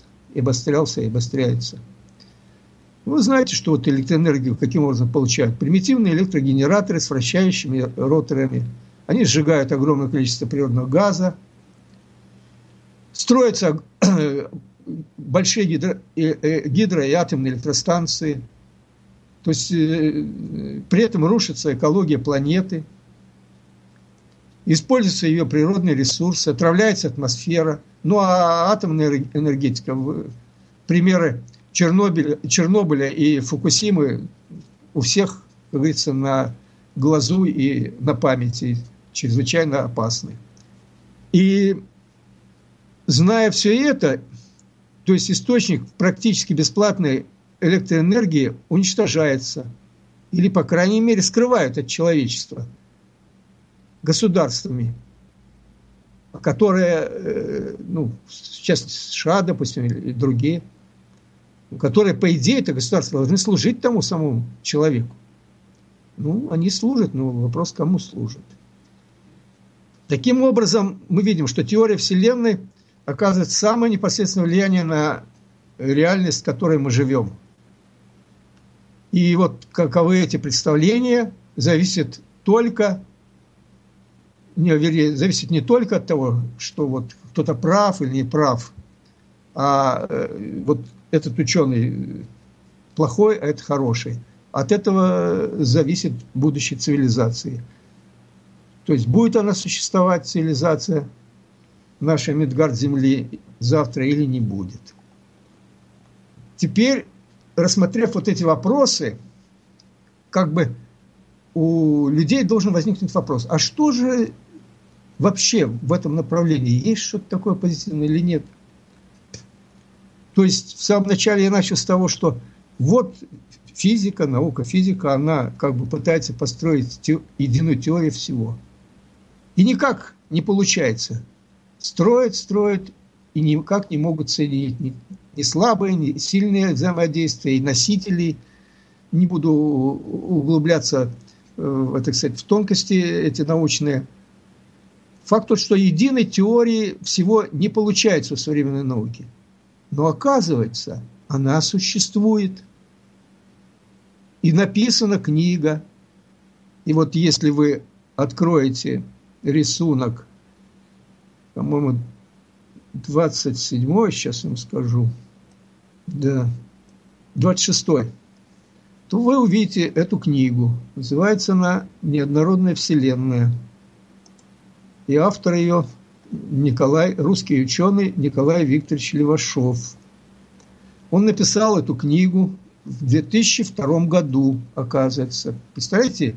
То есть мы живем в мире, в котором уже вот в 17 году будет 15 лет, как все известно, что, оказывается, Вселенная неоднородна. И эта книга, и автор Николай Левашов, то, что он излагает в этой значит, книге, принципиально совершенно другую теорию Вселенной, которая позволяет объяснить практически все явления живой и неживой природы. А вот если смотреть, прочесть эту книгу и изучить ее, то и значит, следить за результатами экспериментов последних э, лет в разных странах мира, которые проводятся и в физике, и, значит, и наблюдения, которые получают астрофизики и в микромире, то результаты экспериментов последних лет в разных странах мира стопроцентно подтверждают основные положения теории Николая Левашова. Причем экспериментов, к которым автор не имел никакого отношения, которые были проведены совершенно другими учеными, которые и не читали теорию Левашова, и имеют вообще кардинально предположенное представление и взгляды о природе Вселенной и никогда не слышали о нем, ни о его теории. Так вот, значит, о нем никто не слышит, да? Не знают. А вот просто за то, что э, открыли, например, э, в 2006 году Джон Мазер и Джордж Смут, два, значит, э, ученых, открыли чернотельную форму спектра и анизотропии космического микрового волнового излучения – что такое анизотропия? Это по-научному неоднородность. Изотропия, изотропия – это однородность, а анизотропия – неоднородность. То есть они открыли неоднородность микроволнового фонового излучения. То есть фактически подтвердили значит, вот неоднородность Вселенной. В 2006 году они получили Нобеля просто за то, что э, подтвердили неоднородность Вселенной. Понимаете? А Левашов в 2002 году написал эту книгу и в этой книге вот это, вот это вот э, открытие, то, что сделали э, эти Джон Мазер и Смут, это только маленькая толика открытий, сделанных Николаем Левашовой, Левашовым в этой книге. Вот два слова об этой книге. Главным отличием от, от других монографий, это монография тоже, научная монография, но а, отличие в том, что в ней изложена новая для нас всех непротиворечивая теория мироздания. Причем она легко объясняет все, что осталось за пределами понимания современной науки. А автор Левашов не использует никаких постулатов. Напомню опять, утверждение, принятое без доказательств. которые введены наукой для того, чтобы хоть как-то объяснить наблюдаемые процессы и явления и оправдать свои зарплаты. А Николай Левашов использовал только одно единственное определение, которое принимается в современной науке, о котором я уже говорил. То есть это определение материи, и оно гласит, что материя – это объективная реальность, данная нам в ощущениях. Так вот, больше никаких постулатов он не использовал, ввиду их ошибочности и вредоносности для правильного понимания сути вещей. Весь остальной материал, который изложен в книге, является оригинальной теорией мироздания, которая, повторяю, не противоречива и без каких-либо допущений и натяжек объясняет все физические процессы явления, наблюдаемые на Земле и в космосе. И в этой книге впервые очень кратко, но четко и доходчиво изложена вся космологическая теория, начиная от природы звезд, звездных дыр, до процессов зарождения жизни и разума на планетах. И вот эту-то информацию он еще плюс э, снабдил своими собственными цветными иллюстрациями, которые очень помогают для понимания и, и тех объяс... Э, сути объясняемых процессов в книге. Помогают понять то, что все то, что скрывалось от человечества, за что жгли на кострах инквизиции, истребляли в войнах, эпидемиях и революциях. И хотя Левашов называл эту книгу, называет алфавитом и грамматикой новых знаний, но без этого тщательного ее изучения невозможно, именно тщательного изучения, невозможно понять ничего всего остального. А всего остального очень много интересного, что так много в окружающем нас мире, в этом прекрасном мире, который благодаря теориям и знаниям современной науки губится э, на корню. Так вот, я сказал, что вот э, эти знания э, жгли на кострах инквизиции, стреблялись в войнах и так далее.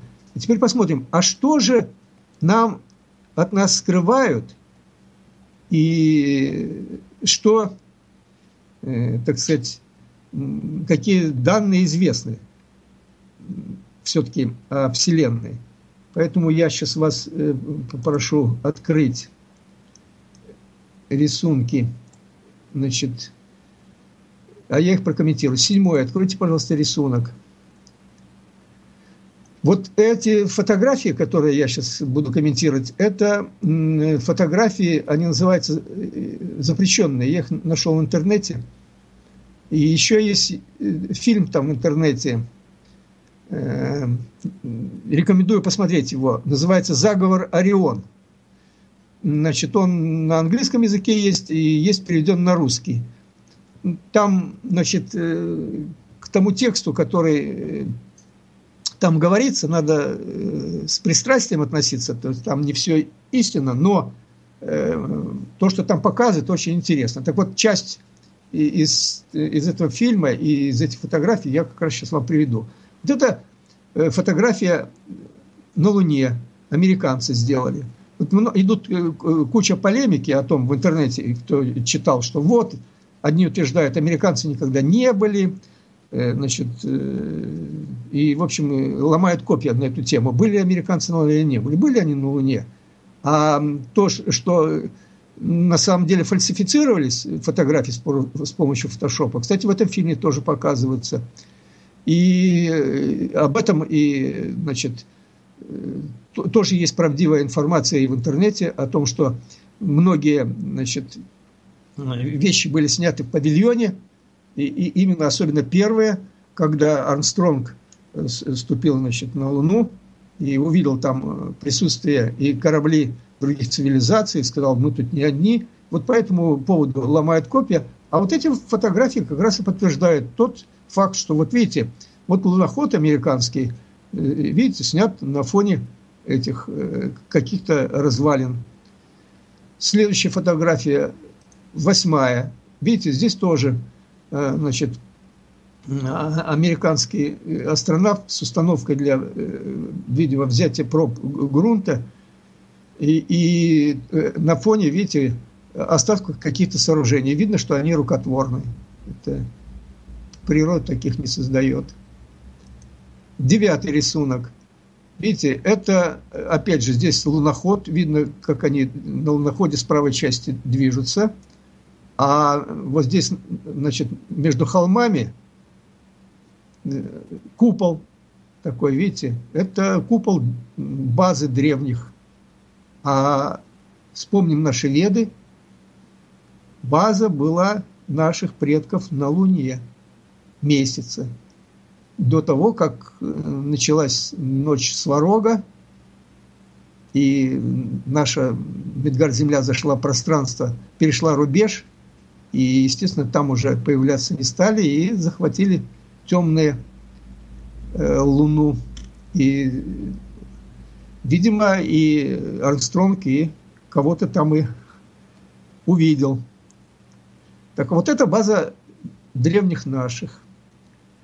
Теперь смотрите, да, это второй же такой же снимок, единичка помечена, э, это девятый, 9-1, база древних, с надписью «Следы высокоразвитой цивилизации Медгард Земли».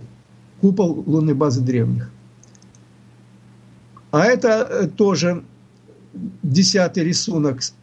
Значит, видите, это фундамент недостроенной базы древних. И если увеличить, посмотреть эти блоки, точно такие же технологии, как у нас и на Земле. Тех же мегалитов также все вырезано. Одиннадцатый рисунок. Видите, это пирамиды на Луне месяц. А вот с, э, рядом с, это, с каменной такой глыбой справа там этот э, луноход – так что наши предки пирамидами наследили где только могли. Сейчас еще я вам потом покажу. Значит, 12 это 11 рисунок был, теперь 12 рисунок.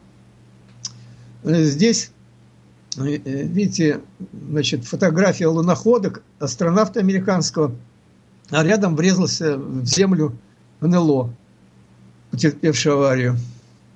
А это на 13 рисунке так называемые, как у нас в ведах написано, врата между мирия, энергетические комплексы.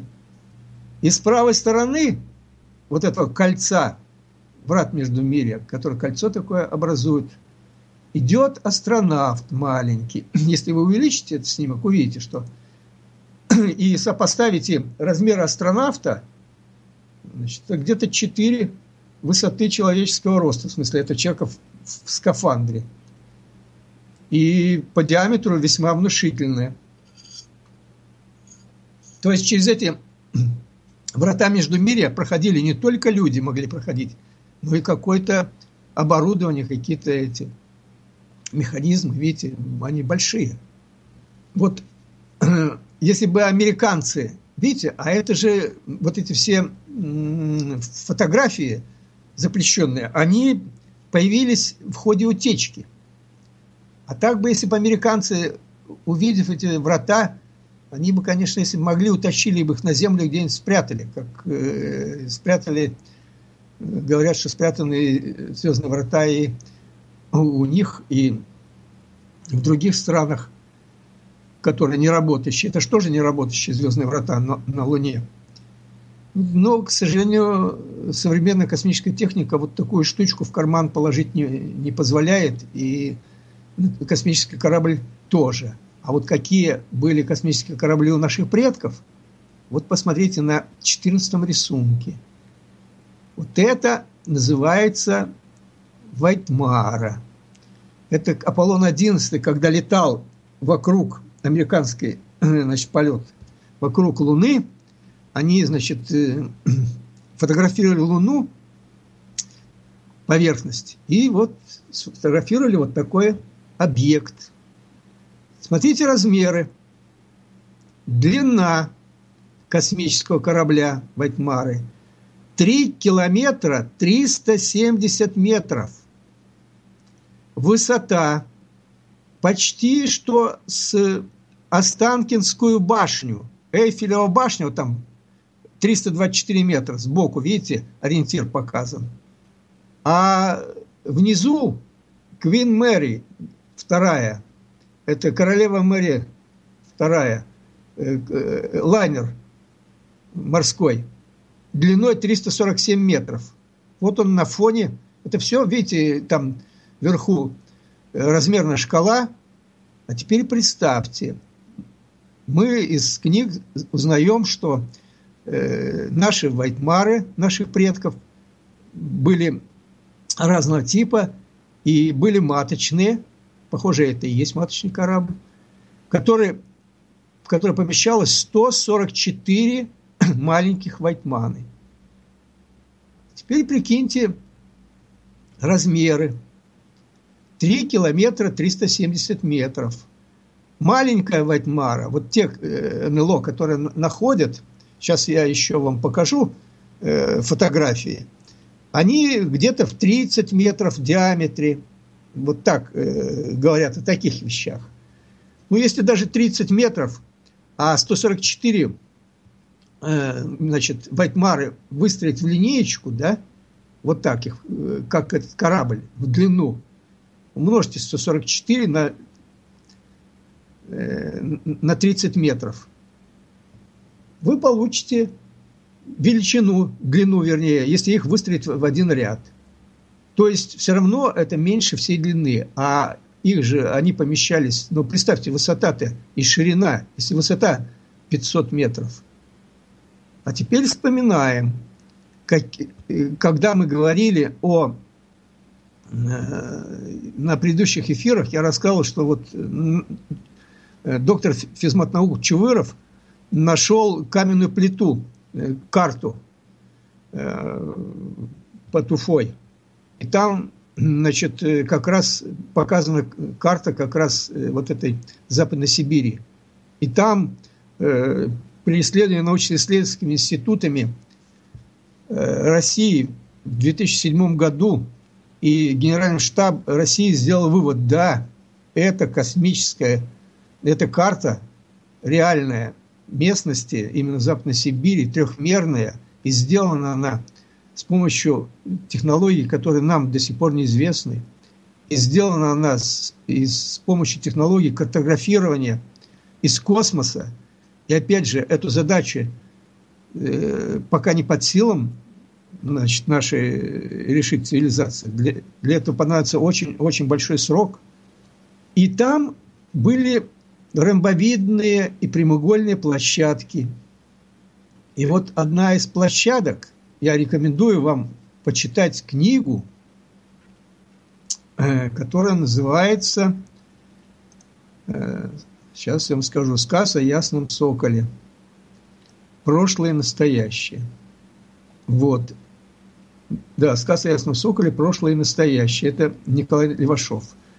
То есть это вопрос идет о чем? Сейчас маленькое уточнение еще сделаю, прежде чем продолжить. Здесь уточняют, где фотографии. Еще раз повторяю, фотографии представлены в анонсе. Если вы слушаете в живом эфире, то заглядывайте в раздел анонсы, там ищите сегодняшний наш эфир. А если вы слушаете в записи, то в этом случае уже на странице самой записи, там все ссылки на фотографии даны.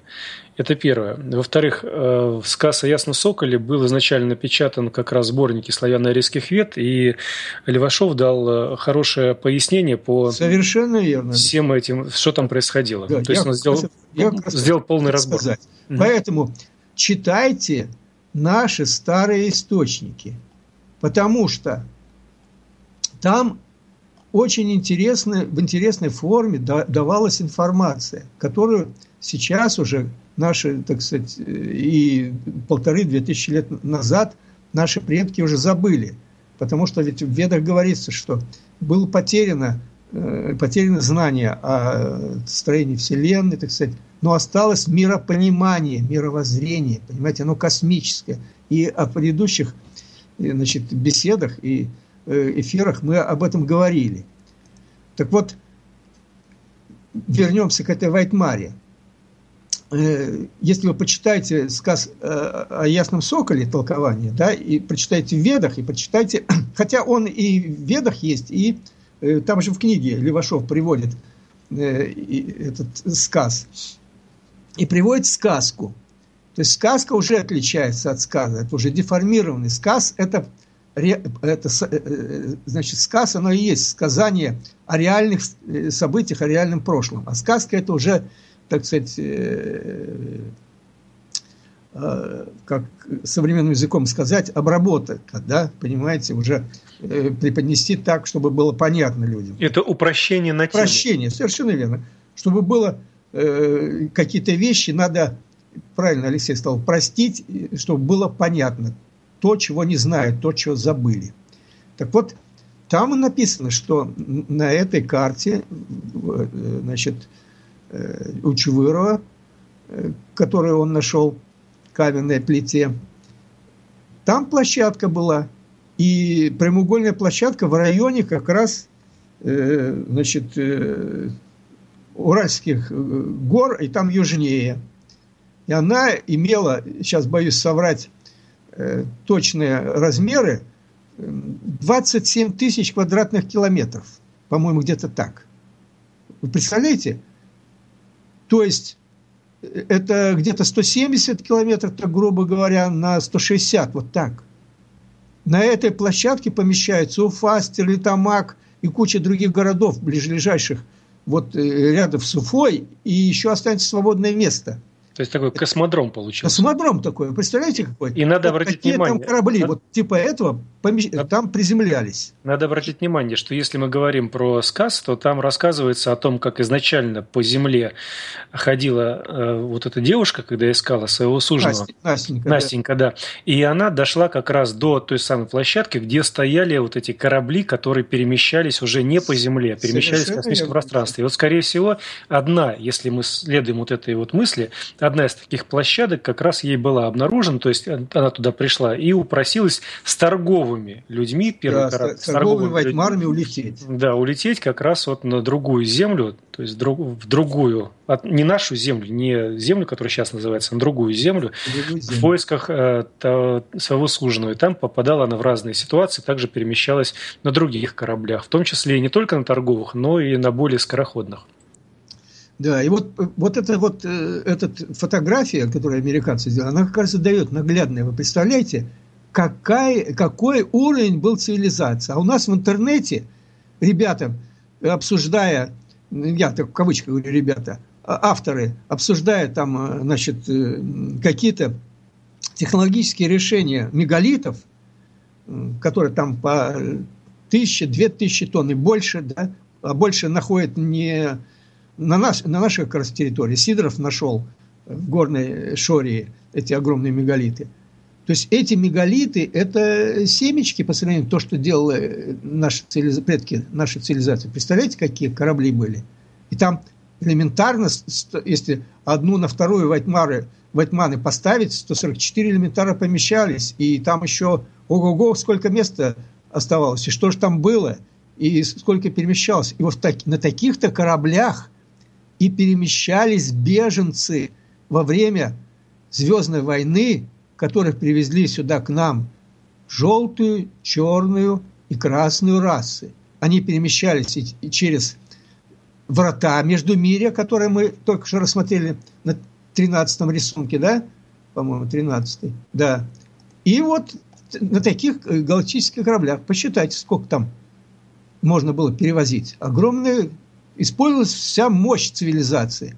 Поэтому та цивилизация, которая имела такие э, значит, космические корабли, ватьманы, ватьмары, естественно, не одна, а союз цивилизаций и мог решить проблему создания Луны искусственной, месяц, да, которая нам известно, что она полая, ученые это определили – Угу. Я хочу еще тоже, тоже дополнить, что корабли вот эти, которые существовали, они описаны не только в, в данном случае в сказе Ясном Соколе, но и в каких-то еще упоминаниях. А, например, есть упоминание о том, что прибыл сюда э, корабль, э, груженный определенным видом камня, из которого строились определенные строения, как наземные, так и подземные, многоэтажные.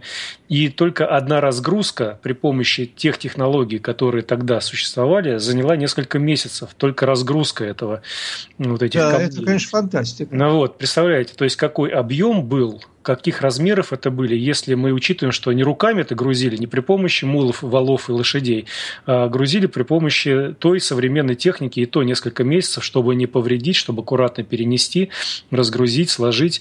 Э, несколько месяцев э, это все было, и людей было несколько тысяч из разных общин, которые принимали участие в этой только разгрузке, не считая зодчих, которые строили, не считая мастеровых, которые прорубали э, подземные сооружения и надземные что-то строили и так далее, инженеров и так далее. То есть здесь, э, если мы поднимаем какие-то упоминания, хотя бы упоминания, даже с учетом каких-то изменений, потому что не все, к сожалению, в чистом виде нас дошли, где-то даже, может быть, какие-то додумки есть, все равно. Даже если вот это все учесть, то ну, как-то так становится очень э, обидно, что мы скатились до такого очень низкого уровня. Обидно, что мы не совсем соответствуем тому высокому званию, и расчеты наших предков не совсем, наверное, оправдываем. Да, согласен, Алексей. Хотя и вот по поводу... Хотелось бы надеяться, что вот появится еще такая информация, которую сейчас Алексей сказал. Может быть, волхвы там еще и придерживают что-то такое, и может и еще что-то дадут и напечатают новенькое, и мы узнаем о нашей цивилизации что-то новое. Я думаю, что дадут и в том, в том, потом и добавят, только тогда, когда мы будем соответствовать этому. Потому что ну, нельзя обезьяне давать атомную бомбу. Ну, нельзя просто. Нельзя обезьяну сажать за пульт э, управления ракет которые такие высоко взлетают и быстро падают, и что-то там взрывается. Не, нельзя это делать. Поэтому если мы находимся на очень низком уровне, то и знания нам даются те, которые мы сможем постигать. А знания эти всегда в таком случае упрощенные. Это первое. А во-вторых, иногда даже и знания эти в упрощенном виде не даются. Потому что если ты привык смотреть телевизор, ну смотри его, что ж тебе взять-то? Ну, что ж, э, сотрут э, очередную цивилизацию, заново построят. У нас возможностей огромное количество. Переживать здесь абсолютно никому не надо. Стирались уже цивилизации и еще раз сотрутся, если надо. На, заново люди здесь рассеются, и заново будет все строиться. Это школа, так что подходим философски к этому вопросу. По поводу же фотографий, так небольшое уточнение. Все-таки, когда я так внимательно рассматриваю, сдается, что, на мой взгляд, не все фотографии можно воспринимать как истину. Есть, скорее всего, фотографии все-таки постановочные, так, на мой взгляд. Но ну, все... я здесь могу сказать свое мнение. Вот я недаром сказал, что постарайтесь посмотреть еще вот этот фильм, э, э, как он, э, «Заговор Орион». Дело в том, что там и показываешь, как э, фотошопом скрываются многие вещи. Понимаете? Вот. Э, поэтому там все это надо, конечно, анализировать. Это то, что я говорил на предыдущих эфирах, как это делается. Там достаточно все очень тонко делают. Там и фальсификация, и сталкивание мнений специальное, понимаете, чтобы только людей увести от истины. Ну, пойдем дальше. Значит, 15 э, рисунок. Это уже Марс.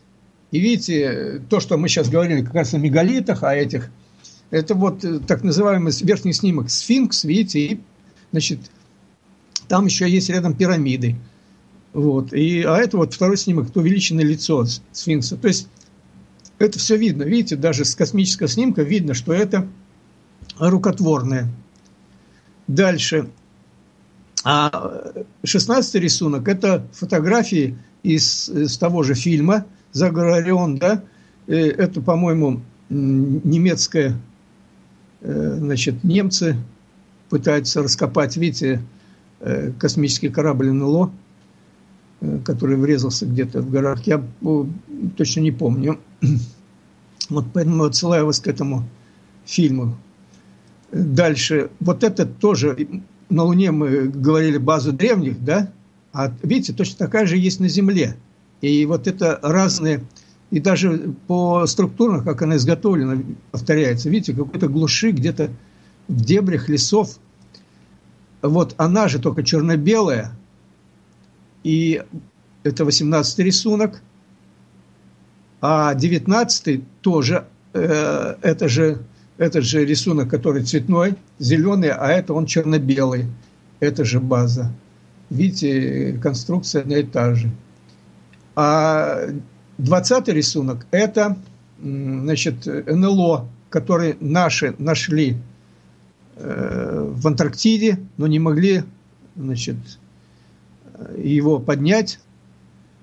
И попросили, там вроде э, в фильме говорится, вот якобы помощь попросили, но американцы не захотели поднимать, и в итоге взорвали, чтобы не досталось никому. Вот такой комментарий, так ли это или нет, но вот такой комментарий дается в этом фильме. А теперь я еще скажу, значит, э, вот что. Если мы вернемся к книге Левашова, его фундаментальному труду «Неоднородная вселенная», да, в котором он написал и создал полноценную картину мироздания, то значит, в, в начале первой главе аналитический обзор, он значит, э, пишет интересный момент. Сейчас я процитирую. Значит, в Ведах, э, в книге Света, возраст которой 40 тысяч лет, излагается картина мироздания – которая просто потрясает своей точностью и полнотой. Невероятно, но факт, который вынужден будет признать каждый, кто откроет эту книгу. Вот что там написано. Кто читал, я еще процитирую. В истинном изначале, вернее тогда, когда бесконечной новой вечности разлилась великим мощным потоком жизнь несущая сияющая Инглия – первозданный, жизнь порождающий свет, в новой действительности рождены были разнообразные пространства из реальности миров Яви, Нави и Прави. И чем ближе к изначальному источнику света располагались эти пространства и реальности в различных сияющих мирах, тем большими мерностями эти величайшие пространства и реальности были наполнены. То есть 40 тысяч лет назад знали о том, что существует множество вселенных, имеющих разную мерность и образующих все вместе единую пространственную систему, которую будем словно называть матричным пространством. Дальше продолжаем беды.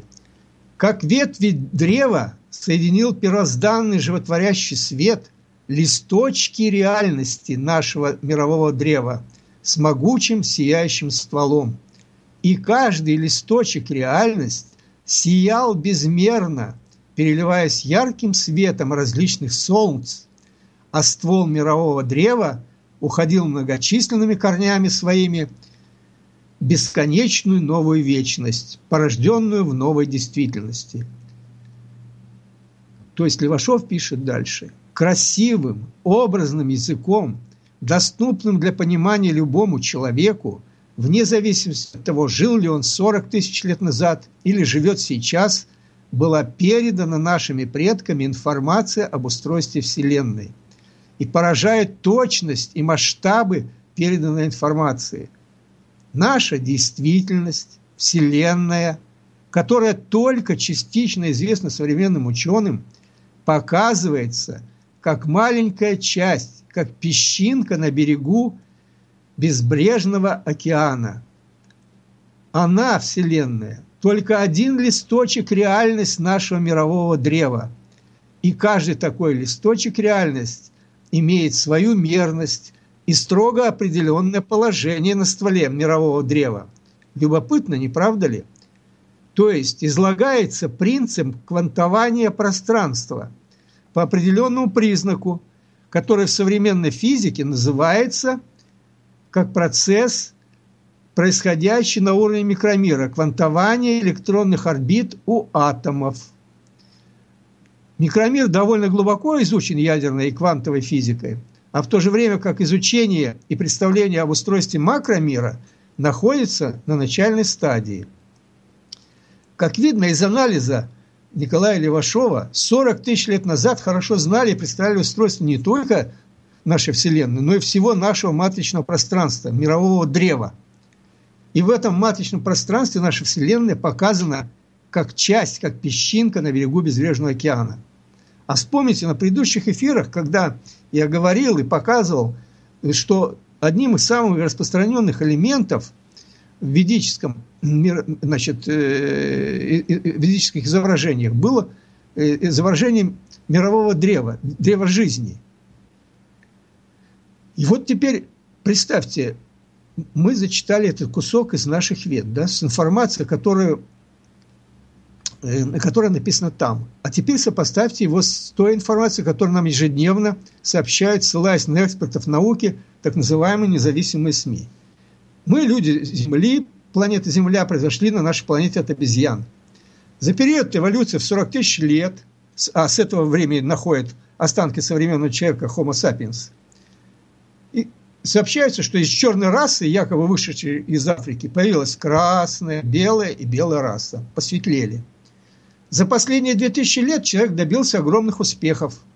Размножился, разрушил экологию своего дома, слетал на Луну, возможно, полетит к Марсу с Божьей помощью. Ну, вы знаете, кругом сейчас и в звездном городке, и иконы, и на космических кораблях и освещается все. Правда, все равно, как падали, так и падают. Планета не в состоянии прокормить 7 миллиардов людей. Поэтому в ближайшем будущем человечество ждут войны за ресурсы. Еще нам средства массовой информации сообщают, мы одни в космосе. Сколько ни смотри в телескоп, кроме нас никого больше нету. Поскольку 90% нашей Вселенной, как только что мы говорили, неизвестная науке черная материя. И периодически пугают землян предстоящим апокалипсисом и продвигают идею мирового правительства о том, что на планете должен остаться один золотой миллиард. Не правда ли замечательная перспектива вырисовывается? Вот это все называется манипуляция сознанием людей. И вот сегодняшняя официальная наука, в том числе физика, о кризисе которой мы и говорили, это ортодоксальная религия. И она очень отличается – от науки, допустим, конца XIX века. В то время тоже математикой пользовались, но понимали, что математика – это инструмент. А сегодняшние ученые постоянно молятся на символы формулах. Но символы в формулах – это не процессы в реальной природе. А ученые молятся и просят дать откровение через какую-то закорючку. И делается все это, все, что э, я сейчас говорю, да, для того, чтобы значит, как мы говорили на, на этой беседе, что за математическими значками не стоят реальные процессы, а приборы, созданные человеком, базируются на пяти органах чувств, которые человек абсолютизировал. И на базе множества постулатов пытаются строить теории. А математика как раз и нужна и для того, чтобы оправдать эти теории. И при этом Ученые, имеющие представление только о 10% материи Вселенной, выступают экспертами и строят теории на базе знаний этих 10. В итоге рождены теории, которые не имеют подтверждения в реальном мире. И эти теории, в кавычках, современной науки привели к той ситуации с экологией, которая сейчас существует на планете, когда миллионы людей уже, представляете, так называемые экологические больные. Это люди, вот, которые получили свои заболевания только из-за нарушения экологического равновесия в результате так называемой разумной в кавычках деятельности человека. И современная цивилизация наша, идущая по пути технократического, потребительского общества, к настоящему моменту подошла к критической точке своего существования. И в этом ей, к сожалению, помогает, в кавычках, современная наука. Ученые – назвав эти неизвестные 90% материи Вселенной темной материей, они при этом ничего не изменили. Ведь формирование мировоззрения происходит через формирование представлений о том или ином явлении, на основании чего? Фактов, наблюдений или экспериментов. И вот, казалось бы, анализ путей развития науки дает определенное представление и о некоторых закономерностях развития самой науки – и это должно как-то сказаться и на мировоззрении тех именно, кто относит себя к категории ученых. Но из истории известно, из истории науки известно, вот, что когда возникает критическая ситуация, то представители вот старой концепции в научном мире, они бросаются любыми способами спасать ее. Они разрешают возникшее противоречие путем отказа от этой теории в силу их не, неустранимости. И в итоге всегда кризис заканчивается научной революцией. И вот подобная ситуация возникла и в современной науке. А сейчас э, несколько слов хочу еще раз сказать о символике русской ведической традиции. Вот переключите, пожалуйста, на 21 рисунок, фотографию, да? Это, значит, роспись потолка. Боюсь соврать, по-моему, в это где-то в Палестине или в Сирии. Э, значит, это я нашел. Видите, значит, здесь э, на, на, этом, на этой росписи вот как раз символы э, русской ведической традиции. И отдельные элементы вот этих символов можно видеть у других народов. И совершенно разных народов, которые в совершенно разных частях э, света живут. И вот символика русской ведической традиции, она несет понятие о мироздании, о космосе. Символы, они не несут религиозного смысла, как нам э, фальсификаторы говорят, которые приватизировали, кстати, некоторые фильмы, и символы. Эти символы несут представление о неоднородной Вселенной, о взаимосвязи между микрокосмосом, макрокосмосом и человеком разумным. Это представление цивилизации высокого уровня развития. И вот если вы посмотрите на вот этой э, значит, фотографии, там есть и трехлистник. Я вот эти элементы, для того, чтобы легче было разбираться, выделил такими красными прямоугольниками. Вот. И вот, например, верхний прямоугольник, там спираль закрученная, да, потом, значит, это квадрат, вернее, а прямоугольник верхний, там два э, трехлистника, но они в виде отдельных таких элементов расположены, значит, в виде треугольников по бокам. Дерево жизни потом, потом шесть, шестилучевик – до шестилучевика мы сейчас дойдем. Обратите внимание, видите, шестилучевик это в виде э, такого цветочка шести лучей, да, несколько. Вот. Следующий, 22 рисунок. Вот здесь, видите, э, это э, тоже, по-моему, в Турции найдено, так сказать, в Малой Асии. Не Азии, а Асии. Это вот резал мастер какой-то из дерева вещи, видите, левую сторону он сделал, а правую нет. И видите, здесь тоже все спираль сначала, да, потом шестилучевик разный, и опять спиралевидный, то же самое с правой стороны. То есть художники, многие художники были посвящены, посвященными, понимаете? Они знали многое, по крайней мере, знали, а, а может быть, и простые люди знали, вот это миропонимание э, было, понимаете? Ведь было много ведической литературы, которую потом сожгли в библиотеках. И вот это знаний не было, потому что в ведах же написано, что останутся после катастрофы 13 тысяч лет назад только волхвы-хранители, то есть библиотекари, понимаете, их задача сохранить то, что осталось. А знаний не осталось. Здания были потеряны после этой катастрофы, когда в дикость впали и все равно подтягивали. Теперь 23 рисунок. Видите, здесь шестилучевик на, э, э, раскра, на, раскрашен. И еще какая-то символика, но тут она затерта, она не видна. На кувшине. А посмотрите, какой кувшин, какой формы. Великолепный, да? Все наши предки так делали. Дикие варвары. А вот это вообще бесподобные вещи. Это вот шестилучевики, видите, э, это опять же Малая Асия, где-то по-моему, в районе Пергама. Видите, посередине дерева жизни, так э, изображено, в виде кувшине стоят э, цветы, а справа и слева шестилучевик. И вот 25 рисунок – это как раз шестилучевик. И сейчас я вам значит, процитирую. Значит, это вот как раз из э, книги Левашова «Неоднородная вселенная».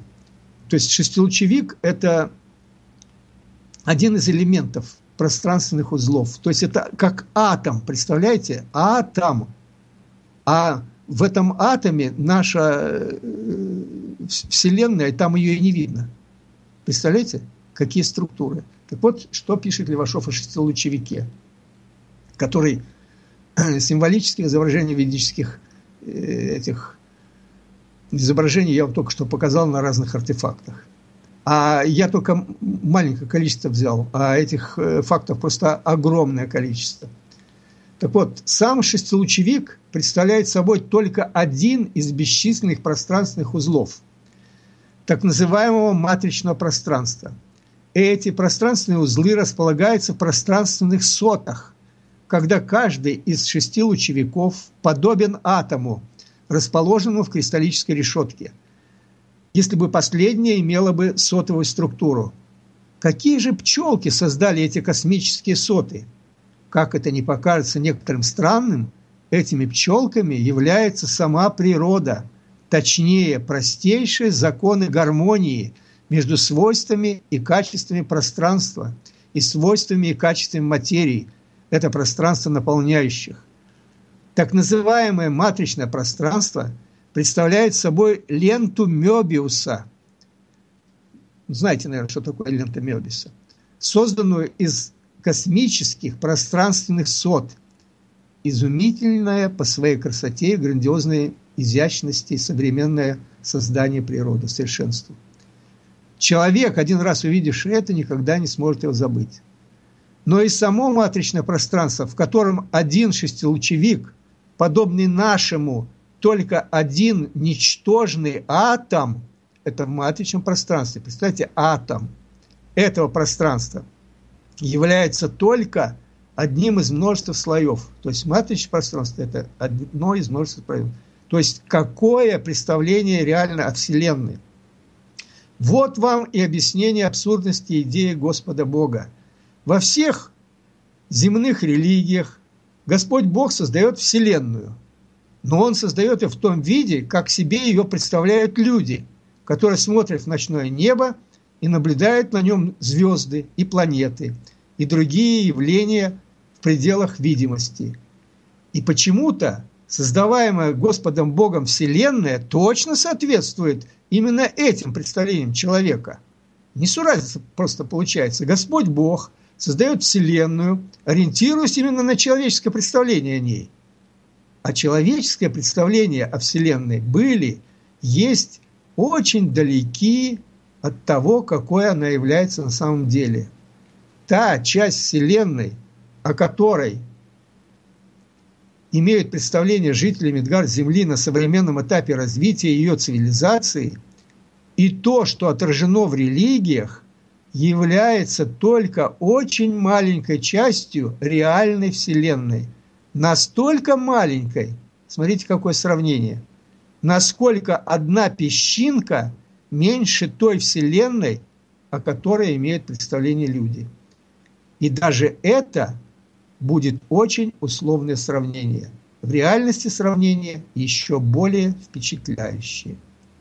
И теперь скажу следующее – вот поговорив о ведической традиции, в изображениях, да, символах ведической э, традиции, нужно сказать следующее, что и на предыдущих э, передачах я говорил, и мы обсуждали эти вопросы, что главная цель фальсификаторов заключалась в том, ну, чтобы скрыть реальную роль русской ведической цивилизации, которая насчитывала сотни тысяч лет своего прошлого – а не 1150 лет, которые нам рассказывают в истории, и которая была матерью всех остальных великих цивилизаций древнего мира. И закончить я бы хотел свою беседу э, вот цитатой из э, значит, э, книги Левашова, э, значит, «Сказ о ясном соколе. Прошлое и настоящее» от того, какую информацию впитывает в себя развивающийся человек, какого она качества и какого, какова ее многогранность этой информации, зависит, остановится ли развитие конкретного человека на стадии собственного человека разумного или продолжится и в стадии высокоразвитого человека. Развитие человека на этих двух стадиях в основном активное.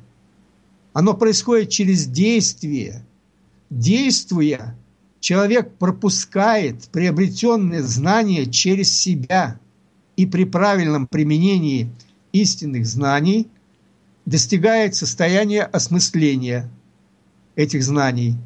И тогда знание из мертвого груза превращается в животворящий поток, который заполняет без остатка действующего, превращая последнего из потребителя в Творца.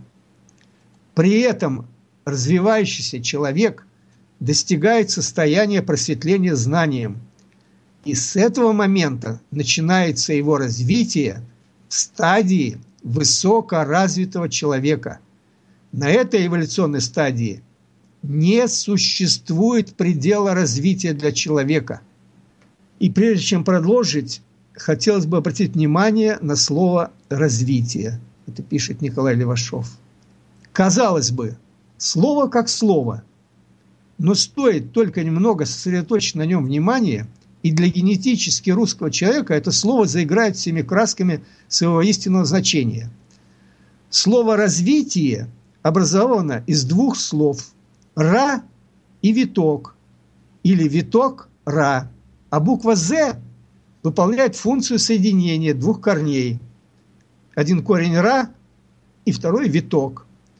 Корень «ра» несет в себе смысл просветления, а корень «виток» – переход на более высокий уровень понимания, просветления. В силу того, что смысловое значение слова «ра» более значимое, чем слово «виток», наши предки всегда это подчеркивали, помещая слово «ра» впереди любого другого при объединении нескольких слов в одно. Другими словами – существовала иерархия слов русского языка в соответствии с их смыслом и значением. И чтобы убедиться в этом, что это именно так и есть, достаточно обратить свое внимание на другие слова русского языка, которые образованы подобным же образом. Например, слово «развернуть». Это слово также имеет два корня – Ра з вернуть. Или если это слово разделить на слова его образующие, получится следующее. Ра вернуть или вернуть ра. И относилось это слово к человеку, и означало это слово возвращение человеком состояния просветления знанием. Благодарю за внимание. На этом я закончил бы. Хорошо. Если Хорошо. можно, Алексей, попить водички, одну минуту перерыв. Да, я могу и три минуты включить.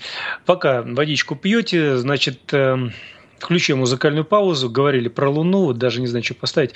Давайте поставлю группа Браво на лунный свет. Вот не помню этой песни, но мы сейчас с вами вспомним заодно, что же такое на лунный свет.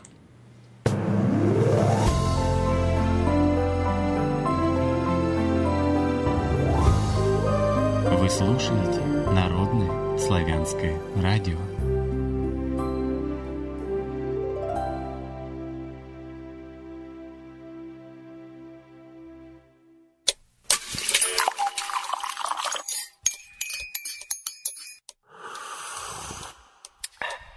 Продолжаем разговор. Продолжаем разговор на Народном славянском радио. 13 декабря 2016 года, вторник, по одному из современных календарей, по одному из старинных, третий день месяца белого сияния покоя мира, 7525 лета, аж пятница. Человек и вселенная, кризис физики – такова тема сегодняшнего нашего эфира. Лен Григорьевич Фиденко нам провел лекцию поучительную, коротенько, так сказать, на два с половиной часа. И мы переходим к вопросам, которые появлялись в чате Народного славянского радио за все это время. Вопросы развернутые и не очень, типа реплик или еще как-то. Ну, появилось их много, поэтому времени осталось мало – Вопросов много, и все вопросы, наверное, надо будет как-то озвучить. Итак, вопрос в эфир от Владимира Измытич. Физику считаю своей второй виртуальной мамой, поскольку вырос на учебниках физики. Хорошо, вырос, молодец. Первая проблема современной физики состоит в том, что научное здравомыслие практически безнадежно утонуло под грузом теорий эфира, торсионов и релятивизма. Не ругайся, пожалуйста, такие слова употребляешь. Вторая проблема – целевое финансирование. Кто платит за исследования и финансирует создание оборудования, тот и владеет результатами, вплоть до их коррекции. Третье – неполноценное образование самих физиков. Печально кончил. Начал хорошо, кончил печально. Пожалуйста, что скажете? Ну, там еще конец дальше, это не все. Ах, еще. Я, а, хотя, бы, хотя бы нет, хотя бы вот на эту часть ответить. Ну, я, так сказать, э, здесь, в принципе, ничего против не имею, то, что он, э, так сказать, описал. Э, значит, единственное, что по поводу эфира не потонуло, просто многие физики, здравомыслящие, возвращаются на, на те позиции, которые были в начале, значит, в конце XIX века. То есть, когда подсунули вот эту обманку АТО и СТО, значит, общая теория относительности и теория специально. А тогда значит, доминировала как раз э, теория эфира. И я вот и говорил про Дайтона Миллера, да, который и своими этими опытами подтвердил, что да, наличие эфира есть. Э, есть. А это Эйнштейн, ссылаясь на Микельсона Морли, э, мизерными этими, сказал, что нет. Поэтому Ох уж этот товарищ Эйнштейн, такого понаговорил, такого. А сам язык высунул он и довольно сидит. Почему, продолжаем. Почему возникает темная материя, темная энергия? Потому что у современных ученых не сходятся расчеты. Вот и возникает дилемма. Либо признать предыдущую деятельность несостоятельной и признать факт напрасной траты денег, либо придумать заплатку на коричневую ткань современной физической модели мира. Основные заплатки – это теория относительности. Э, большой взрыв, темная энергия, темная материя, многомерность и утверждение, что время тоже мерность, пространство, комплексное число и так далее. Вот с этим абзацем как? С этим абзацем тоже полностью согласен, за исключением одного. Э, время – это искусственная величина, это не есть никакой параметр Вселенной, это искусственная величина, э, которая придумала человечество. Для чего? А для удобства, для того, чтобы мы э, встречаемся, и мне Алексей говорит, вот встреча будет э, в эфире в 20.00, сверим часы. У меня, так сказать, не имеем мы, так сказать, одинаковые принципы. Мы, значит, не встретимся в эфире, и Фиденко будет где-то Э, выступать по другому радио, если его пустят на другое радио.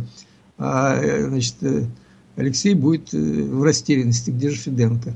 Поэтому вот время для того и придумано. Это просто практически. Вспомните, у наших предков было раньше совершенно другое.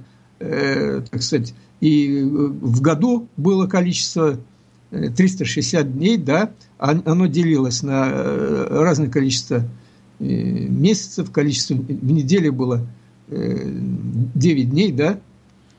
Ну, один из э, таких календарей, который, да, один из календарей, пода- который подается как древний, там, да, 9 ну, смотрите, дней разные, разные варианты были. 40-41 день. Как удобно, месяца, 16, часов, да. 16 часов в сутках. Да. Понимаете, это же не значит, что это реальность такова. А вот так разбивали, какой час был.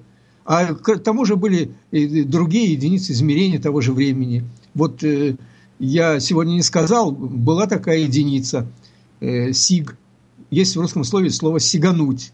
Вот когда мы э, обсуждали э, и посмотрели картинку э, врат Междумирья или звездные ворота, да, врата, э, как по-современному – вот когда человек э, значит, в эту систему энергетических комплексов вступал, значит, то через одну трехсотмиллиардную э, значит, э, единицу времени СИГ, он значит, перемещался одну трехсотмиллиардную единицу секунды.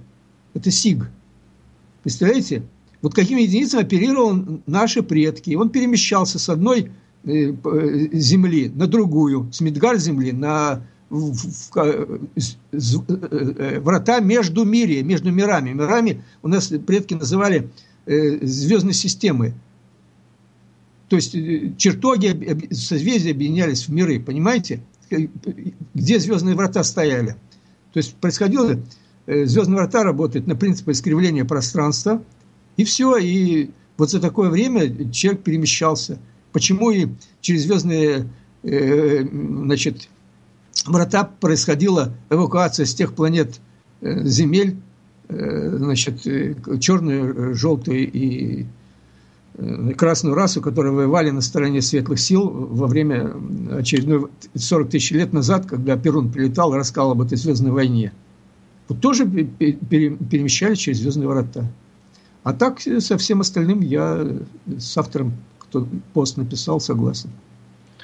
Да, у нас перемещения были на ближайшие какие-то земли, это, скорее всего, при помощи космических кораблей, так называемых.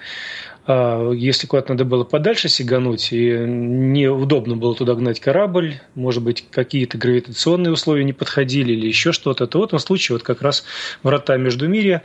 Кстати, вот если мы смотрим какие-то фантастические фильмы или сериалы, там же ведь очень много что правдиво рассказывается. И вопрос, откуда они взяли всю эту информацию, ведь что навеяло просто так. И вот «Звездные врата», например, очень интересный фильм, когда вот вдруг ребята оказываются на другой Земле, на другой, на планете по-современному. Там цивилизация в упрощенном виде. И там как раз рассказывается один из вариантов, как космический корабль в виде пирамиды туда опускается. И вот эти вот повелители, пришельцы, они держат всех в таком состоянии полуобезьян, полулюдей, где есть религия, запрещающая им развиваться, есть какие-то табу, запрещающие что-либо делать. И вот они в таком состоянии живут, оборванные, ими просто управлять. У них нет оружия, чтобы они могли защищаться, у них нет знаний, которые они могли бы использовать, применять.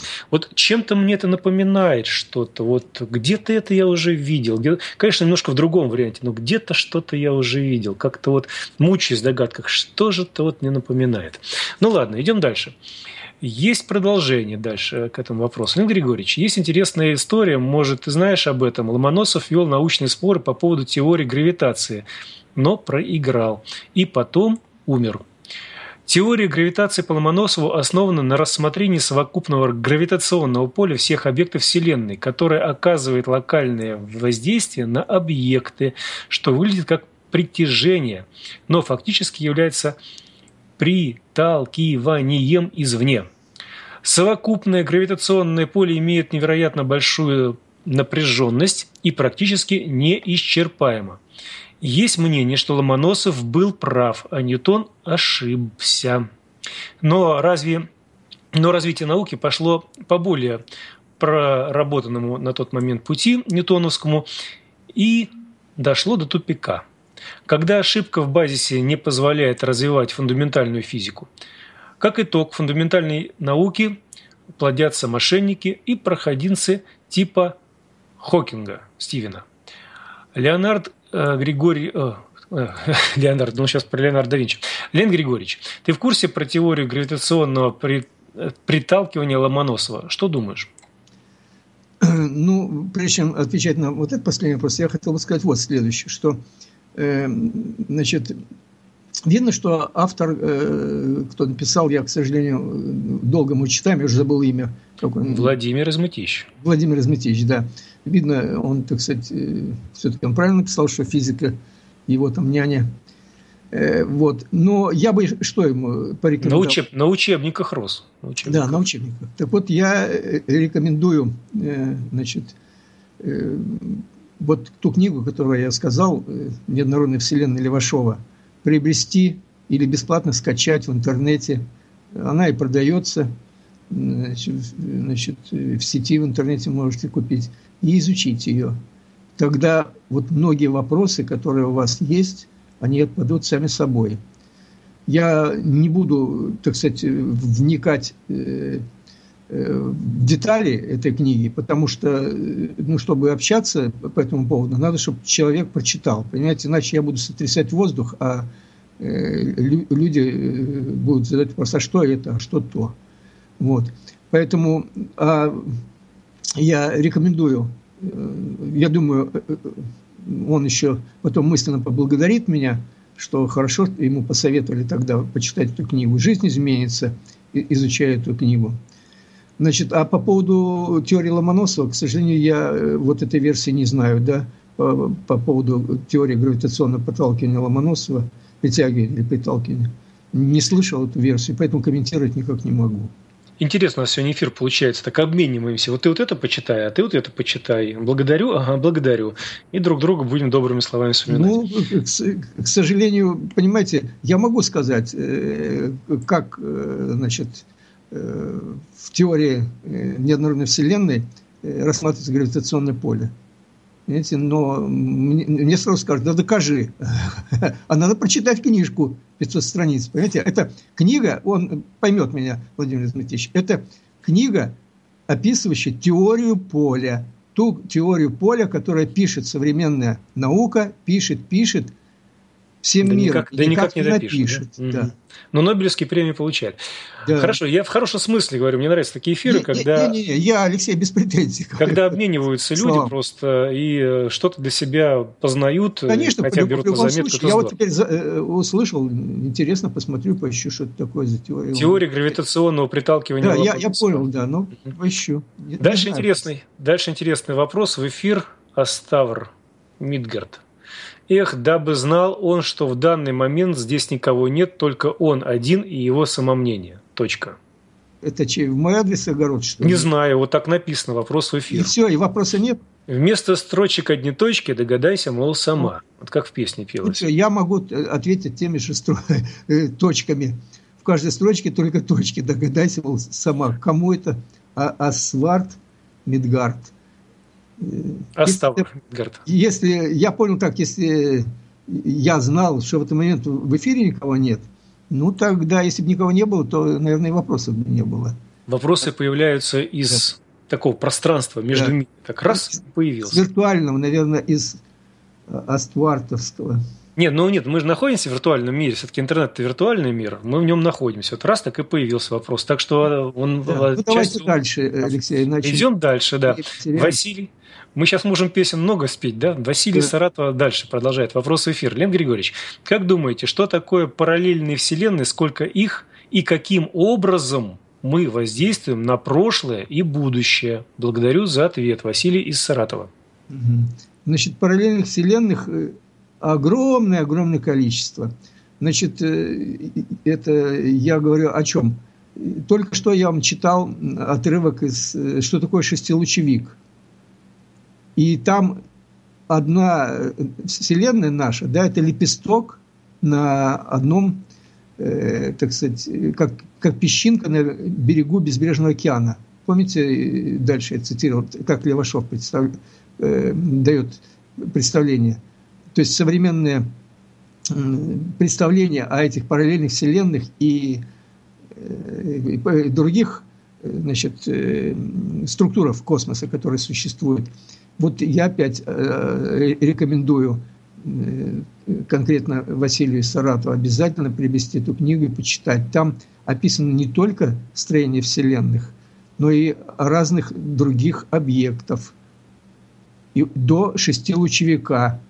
Вот надо бы нам, всем землянам, хотя бы разобраться, как устроены все эти э, значит, пространственные структуры, которые возникают согласно законов природы, реальных, которые существуют в микромире и в макромире, а не те, которые выдуманы нашими учеными э, в нашем Срединном мире.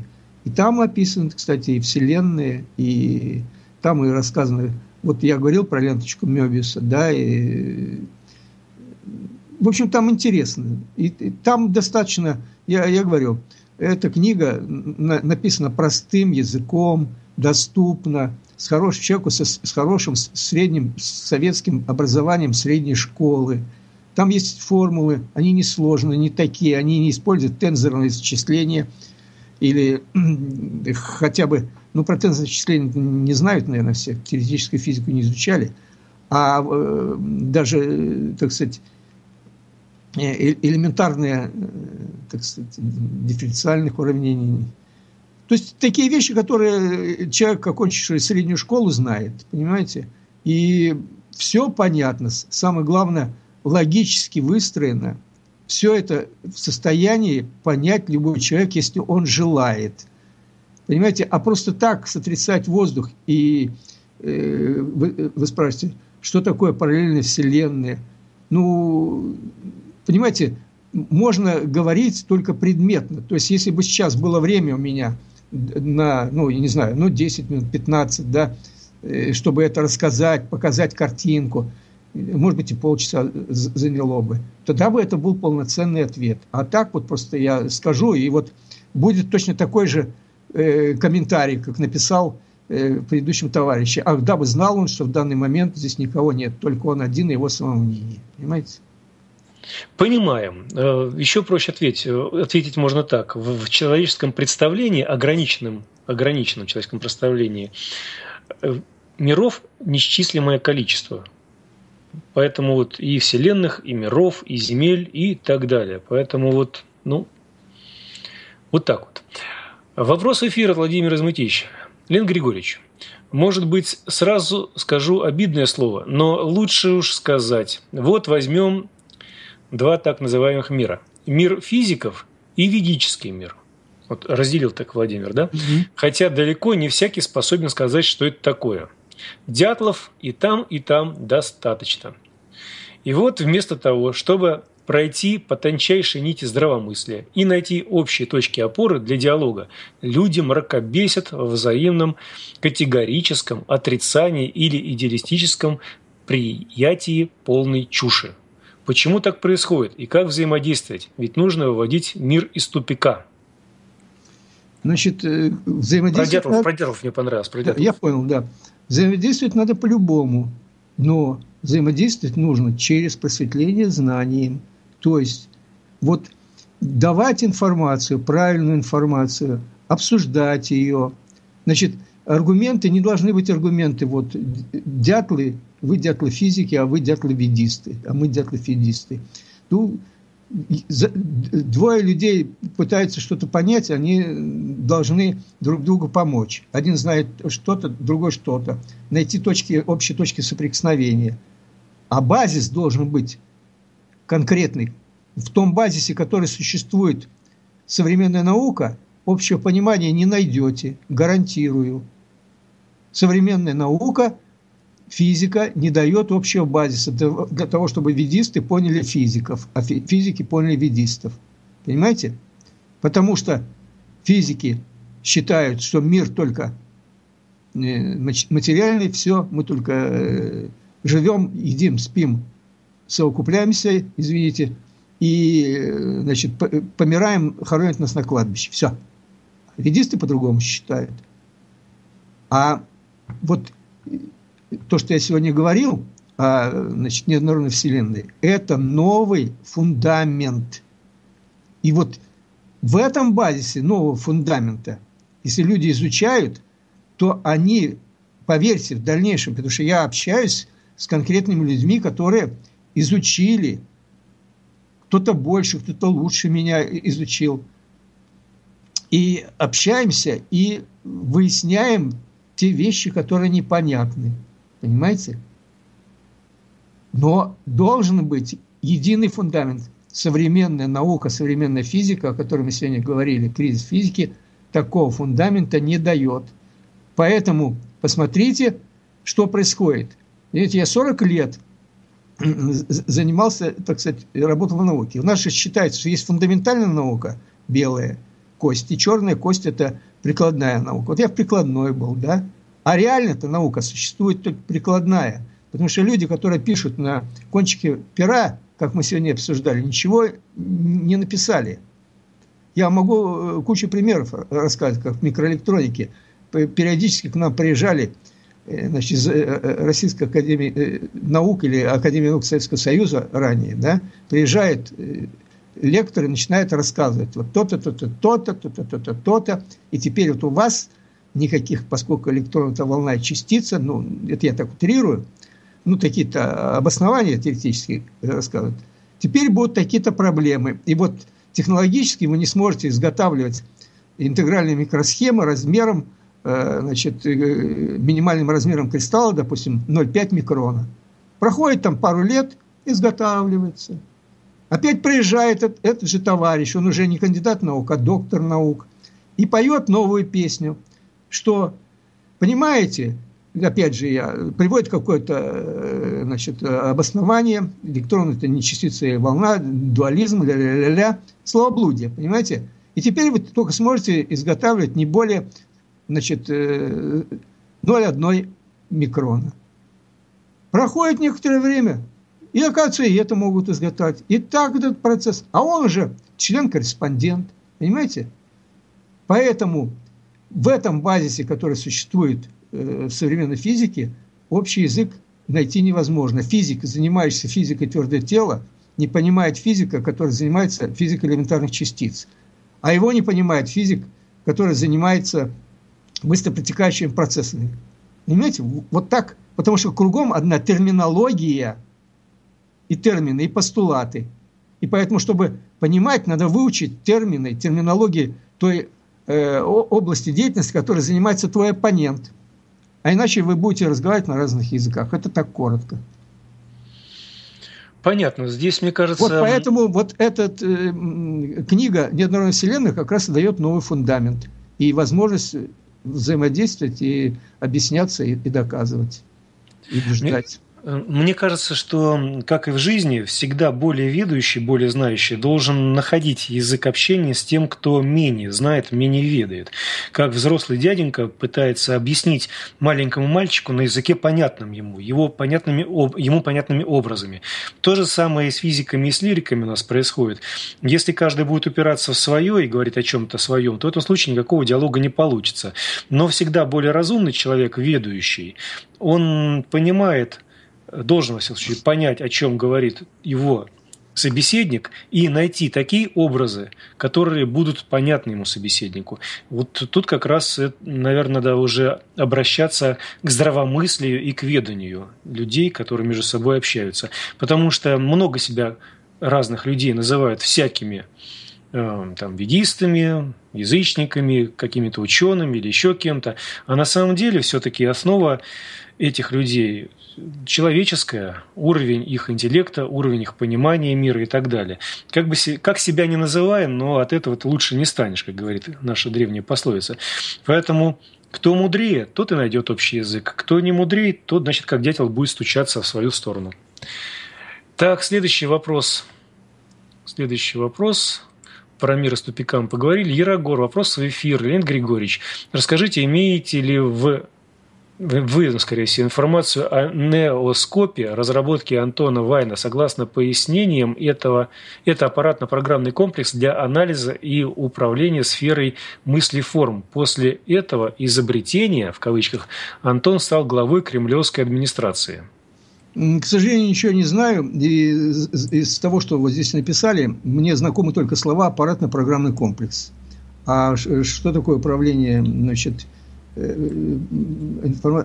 А что такое наскоп и значит, э, управление сферой мыслеформ, как он управляет. Не знаю, не слышал, поэтому комментировать не могу. Ну, еще кремлевская администрация и Антон. Да, тоже и, да, да, и... Так, хорошо, идем дальше. Вопрос эфира от Олега Зерковска. Доброго здравия, Леонид Григорьевич. Не думаете ли вы, что в наше время наблюдается несколько кризис каких-то областей наук, а кризис их разъединения, невзаимодействия и несовмещения в единую картину мира. В естествознании исследования Ломоносова Михаила Васильевича в разных областях наук тому пример. А также не кризис самой физики, а кризис бессовестных профессоров, грантолюбов, которые – время которых, безусловно, уходит в нашу эру интернета, различных мультимедиа, технологий и другой информационной техники и новшеств. Благодарю.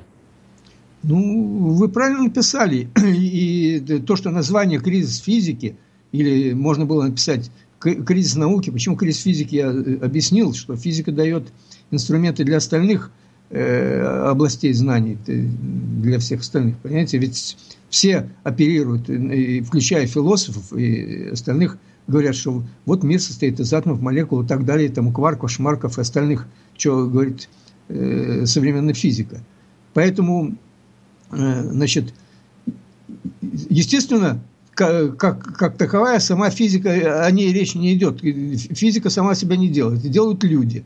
И правильно э, автор, кто пишет сейчас, Олег из Иркутска, э, он правильно э, говорит, что э, проблема в людях.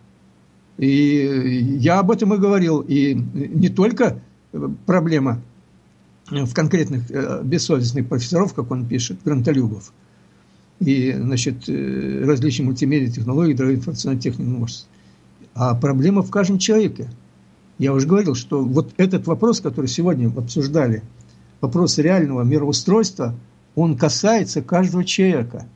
Если он не будет касаться каждого человека, все, наша красавица Медгард Земля, ведь все предупреждают, экологический кризис, катастрофа. Все, погибнет цивилизация. Поэтому совершенно прав автор, что пишет. Ну, никаких э, замечаний нету. Все правильно. Ну, но я уже высказал свою точку зрения, что мне на самом деле не особо волнует, что погибнет. Погибнет новый создадут. Другой вопрос, что просто тормознется развитие. Но с другой стороны, времени у богов много. Ну, подумаешь, миллион лет, ну, еще миллион лет. Подумаешь, там, сто тысяч лет, ну, еще сто тысяч лет. А здесь вопрос еще в другом. А куда сущности денутся наши? Ох уж, у нас, у нас полно... Души, у нас, души наши. У нас они полно... так и заморозятся. Не, у нас полно, у нас полно мест, у нас, я думаю, у нас полно мест, куда нет, можно прийти а души, здесь, и они там отработают. Нет, Алексей, дело в том, что э, полно мест для тех, кто пройдет космический уровень развития, то есть наработает, о чем я говорил в предыдущих беседах. Для этого надо изучить книги Николая Левашова «Сущность и разум», два тома. Э, то есть, кто наработает шесть дополнительных тел к физическому, семь наберет, семь, значит, тот э, начинается у него нулевой уровень развития, космический. Это только начальный уровень. По индусским э, философским понятиям, то, что им передали наши предки, они не поняли, и они считают, что всем наработка семи тел – это финиш и нирвана, все, конец развития. А это только начало, старт, нулевой э, уровень развития. И в этом случае сущность может покинуть, уйти с планеты той, э, которая она привязана Э, пока не, не достигнет э, наработки вот этих семи всех тел. Поэтому кто-то уйдет, а кто-то так и будет болтаться. Ну, это понятно, Игорь Григорьевич. Я просто не упрощал бы так, потому что... Да, я как раз не упрощаю. Потому что у это богов... реально. Ну да, да, да, я понимаю. Просто это реально для нашей земли есть аналогичные земли, где куда это все можно перебросить очень быстро. Да, но это надо, чтобы кто-то перебросил. Вы а, правы, ну, да, е... ну, перебросил. Есть, есть... Если боги перебросят, то... Есть кому заняться, да. Я думаю, да, что если, когда свертывается... Если ну, когда вот проходит... развитые люди перебросят, то... Да, когда вот проходит когда, например, проходит уборка в квартире, в одной из комнат, спальни, например, детской, ну, детей просто оттуда убирают, они какое-то время побыли там в гостиной, да, вернулись, чистая комната. Или там что-то еще. Э, уезжает, например, пионерские лагеря, наверное, многие помнят в советское время, да и сейчас тоже лагеря, или там дома отдыха. Но вот выезжают семьи какие-то, да, выезжают дети, еще кто-то выезжает, ну, почистили, ну, другие способны приехать.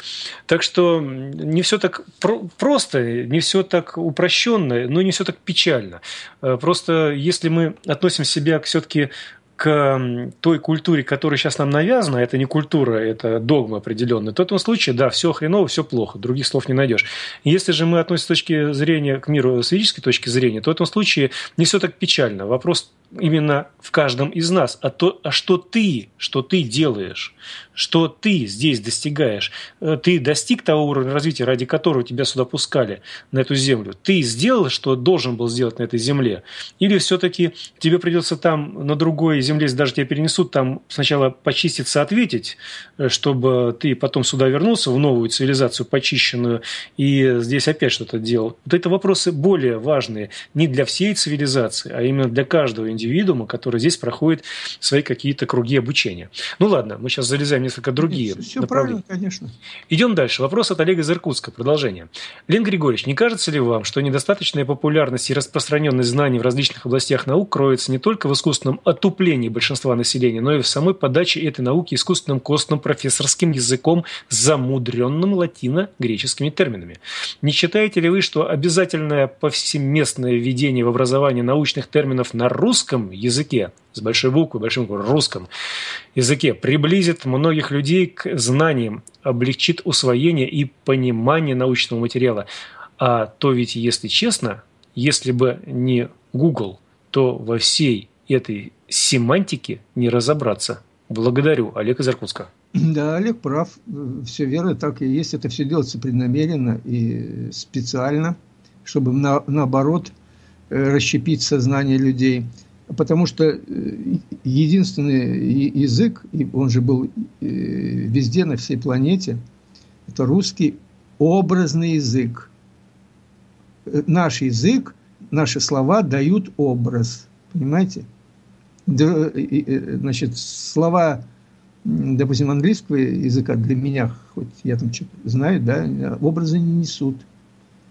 И по этому поводу исследования проводились. Например, проводили такой э, значит, э, эксперимент, что на разных языках произносили слово э, «пес», русское слово, ну, «дог» по-английски, там на других языках, да, и фиксировали, как, значит, реагирует значит, генетика... Ну, ну мозги, мозги как реагируют, да, там да. Да, и на, на слово «пес» реагировало э, все.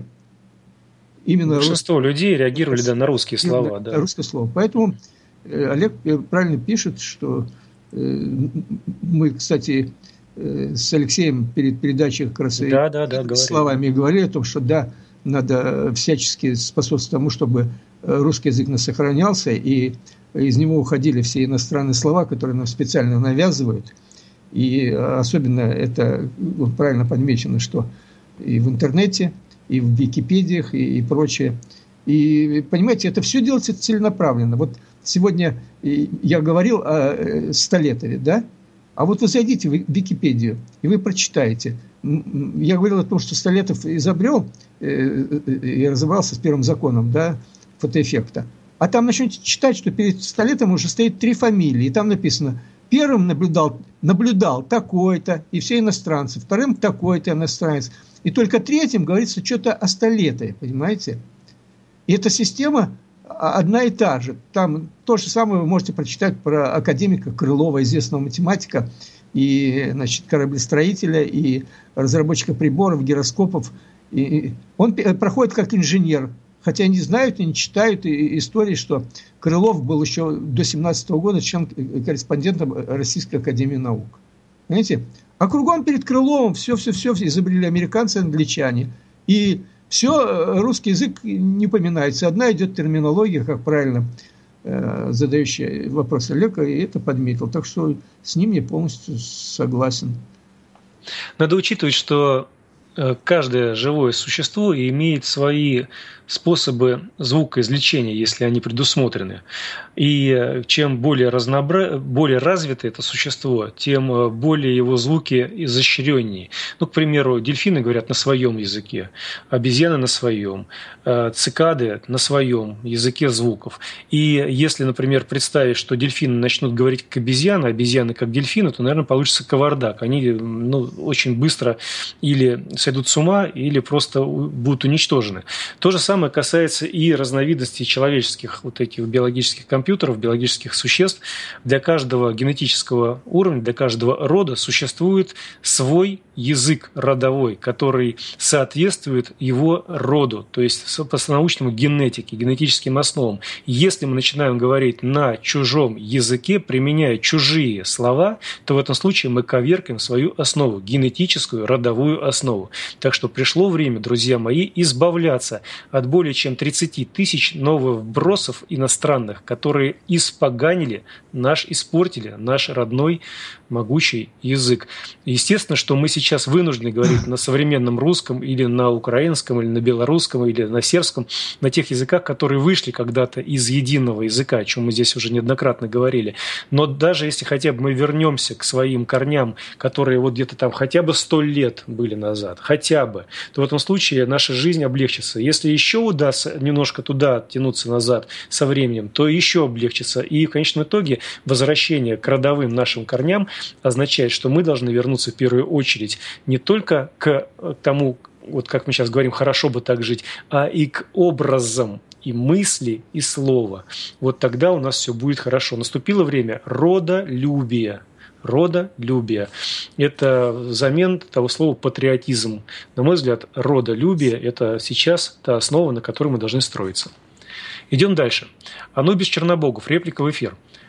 Как какая-то теория или научная мысль может уничтожить человечество? Глупость все это. Мы живем под покровом богов и богинь наших. Понял. Значит, Анубису Чернобогову, значит, или э, не слышал он с самого начала передачи, или невнимательно слушал. Я говорил о том, что научная теория, на базе которой принята значит, э, обществом, она ведет к чему? Что в этом базисе этой научной теории строится приборы, различные устройства, различные механизмы, различные машины. И привел пример. Вот создала наша э, человеческая цивилизация и гордится высшим своим знанием атомное оружие. Если привести, если взорвать все это э, оружие, то иногда и, как он пишет, э, покров богов и богинь не поможет. И 13 тысяч лет назад боги прилетели стали помогать, а на 24, 23,5 градуса ось земная повернулась. И 13 тысяч лет все помогали. И вот только сейчас дожили. Если, конечно, принимать такую иждивенческую позицию, которую принимает Анубис Чернобогов, то можно ждать и что на следующие 24 градуса или на 50 повернется, а может и разлетиться. Вот так теория может уничтожить человечество. Потому что на базе теории создаются различные механизмы, приборы и все остальное. Я думаю, что он все-таки не иждивенческую позицию занимает. Просто Нет, он показал. же пишет, мы живем под покровом богов. Да, Значит, ну, нам все под... гарантировано. Не, не, не в этом смысле. Что, Покров... себя... А как же? Я, я не уверен. Покров... как хочешь, боги, э, богини прикроют. Покров... Нет, покров богов это то же самое, как, например, покров леса. Мы вот мы живем в лесу, у нас покрывает лес. Это не означает, что он нас защитит от всего, но во всяком случае он создает условия нашего проживания. Или покров небес, э, когда есть небеса, есть кислород, есть какие-то слои воздушные, он обеспечит нам условия жизни. В этом смысле. А то, что касаемо, вот я согласен здесь и с вами, и с ним, здесь такая у меня своеобразная позиция. Дело в том, что, если Анубису отвечаю, если боги допустили создание вот этого оружия, о котором Лев Григорьевич говорит, то это говорит о том, что свобода выбора они ну, не ограничивают. Пожалуйста. Закон да, космоса. Да, закон, да, ты, пожалуйста, если ты хочешь себя уничтожать, пожалуйста, уничтожай. Будешь потом отвечать, но это твои проблемы за то, что ты тут натворил. И какой бы покров не был, если человек выбирает самоуничтожение, то в этом случае ему даются флаг руки, пожалуйста, уничтожай. Естественно, где-то кого-то корректируют, где-то там волшебные пендали раздают, какие-то коридорчики создают дают, чтобы он шел по этим коридорам, а не клонялся вправо-влево. Вот. Но все равно свобода выбора есть. И для наших богов, э, если уж мы говорим о тех самых богах, а не каких-то выдуманных, о чем здесь тоже говорилось, нет никакой проблемы восстановить или переделать что-то. Пожалуйста, экспериментируй. Ты ответишь, лично ответишь. За тобой все восстановит, за тобой, да, синизатор приедет, уберет, но отвечать тебе придется. Может быть, где-то в другом месте самому быть синизатором и так далее и тому подобное. Поэтому, если здесь что-то допущено, значит, для чего-то это надо. Значит, кому-то это надо. Значит, необходимо себя в дерьмо носом ткнуть, значит, необходимо какие-то боли испытать. Кто здравомыслящий, тот этого не допустит, пойдет дальше, и он будет развиваться до уровня богов. Кто на уровне козявки какой-то, ну что ж, ну, надо, значит, уровень козявки пройти. И будет тебе дано, да исполнится желание твое. Идем дальше. Вопрос ну, эфира. Я могу да. добавить еще два слова. Да, конечно. Вот. Э, значит, приведу пример то, что написано в это, у, у этих, у индейцев, э, которые живут, э, ну, потомки ну, а, атлантов, да, которые жили в Атлантиде, которых рабами были, да, они пишут, что когда э, началась катастрофа и прилетели боги, стали разбираться, то тех белых а, атлантов, которые Э, для, для значит, людей красной расы были как боги, поскольку анты э, были высоко, более высокоразвитые, понимаете, то боги 13 человек наказали, четырех уничтожили, а девятерых отправили э, в страну этих черных, значит, Египет, да, строить... Гор, гор рукотворных. Да, рука, рукотворные горы строить и прочее. А четверых раскрутили. И, и для них был шок. Как так? Богов уничтожили. Боги же наказали. Полная раскрутка. Так вот, полная раскрутка – это есть, когда реальная смерть сущности. Все, сущность конкретно исчезает. Вот это и есть. Да, так то есть... Боги, э, боги и богини не церемонятся с теми, кто, э, так сказать, себя плохо ведет и допускает ситуацию, ту, которая в Атлантиде произошла. 13 тысяч лет назад. Согласен, это надо учитывать. Так что, с одной стороны, покров-то тебе дают, но вопрос, как ты этот покров используешь и что ты желаешь сделать. Это каждому дается по делам его и по мыслям. Идем дальше. Олег из Иркутска пишет. Уважаемый Олег Григорьевич, у меня к вам просьба. А, вопрос на засыпку. Как вы лично объясните резкое сжатие времени в нашу эпоху? Такое ощущение, что в последнее время один час пролетает за 10 минут. Что это за явление и с чем оно связано? Если, конечно, у вас есть такое ощущение ускорения времени. Благодарю. Ну, я уже говорил, что время – это величина, это, так сказать, искусственная. Времени нет. Существуют процессы. А вот э, процессы сейчас идут многие достаточно быстро. Вот это ускорение процессов и многие процессы, так сказать, а какие-то завершаются, какие-то новые процессы открываются, их очень много. Вот это мы и чувствуем, и это как бы э, называется сжатием, резкое сжатие времени. А реально э, в природе времени не существует, есть только процессы. И процессы некоторые быстро проходящие, другие там миллионы, миллиарды лет тянутся, разные процессы, понимаете? А вот э, сейчас э, такое время, что видимо, какие-то процессы э, заканчиваются, э, изменения резкие происходят. Мы эти изменения наблюдаем, да, и вот это все у нас и создает такое ощущение, что, как бы, как вы написали, за один час пролетает, как за 10 минут. Я думаю так, что для каждого человека время течет по-своему, поскольку на самом деле его для всех не существует, есть процессы. А потому мне нравится ответ того же товарища Эйнштейна, когда вы спросили, там, ну как вы объясняете эту теорию относительности, время там и все такое. Он сказал, ну если человека, например, э, посадить на раскаленную сковородку и удержать его, то секунда покажется вечностью. А если он будет смотреть на красивую даму, то даже вечность может пролететь за секунду. То есть э, вот э, если этими моментами такими объяснять что-то, то все становится на свои места. Время как таковое, оно для каждого человека течет по-своему, если мы говорим про процессы, называемые временем. Так, дальше. Вопрос в эфир от Владимира Изматич. Леонид Григорьевич, Алешенька Кыштымский – это кто? Отвечаю коротко, не знаю. Идем дальше. Вопрос от Олега из Иркутска. Есть версия, что Земля излучает волны микроволнового диапазона – три восклицательных знака. Но если так на самом деле, то почему в, такой, в таком разе пища из микроволновой печки вредна? Благодарю. Значит, э, по поводу, что излучает или не излучает э, Земля, надо, я еще раз говорю, читать э, теорию неоднородной Вселенной Левашова. Так вот там написано, что наша планета имеет... Вообще наша Вселенная состоит из семи первичных материй – эти первичные материи в той неоднородности, где образовалась наша планета, они вза начинали взаимодействовать. И таким образом сначала две материи э, объединялись, да, получалось гибрид, один гибрид. Потом три, создавались условия для объединения, э, соединения трех материй, получался другой гибрид, потом четырех, потом пяти, потом шести, и потом появилось седьмое. Э, значит, так вот, наша материя, э, наша планета и представляет такую э, матрешку, понимаете? Вот. А, естественно, значит, эти гибриды имеют свою, э, так сказать, если говорить с точки зрения физики, свою мерность, то есть свойства и качества. И а, а, одно из, так сказать, характеристик, которые является частот, частотой, частотный диапазон, да, микроволновой или какой-то.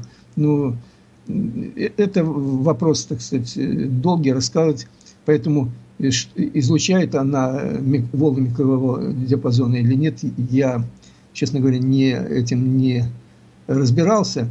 Я знаю, что а, здесь связь, понимаете, с микроволновой печкой ничего, никакой связи я не вижу, потому что микроволновый диапазон – это вообще-то СВЧ-диапазон – А СВЧ-диапазон с точки зрения теории нейронной вселенной Левашова – это э,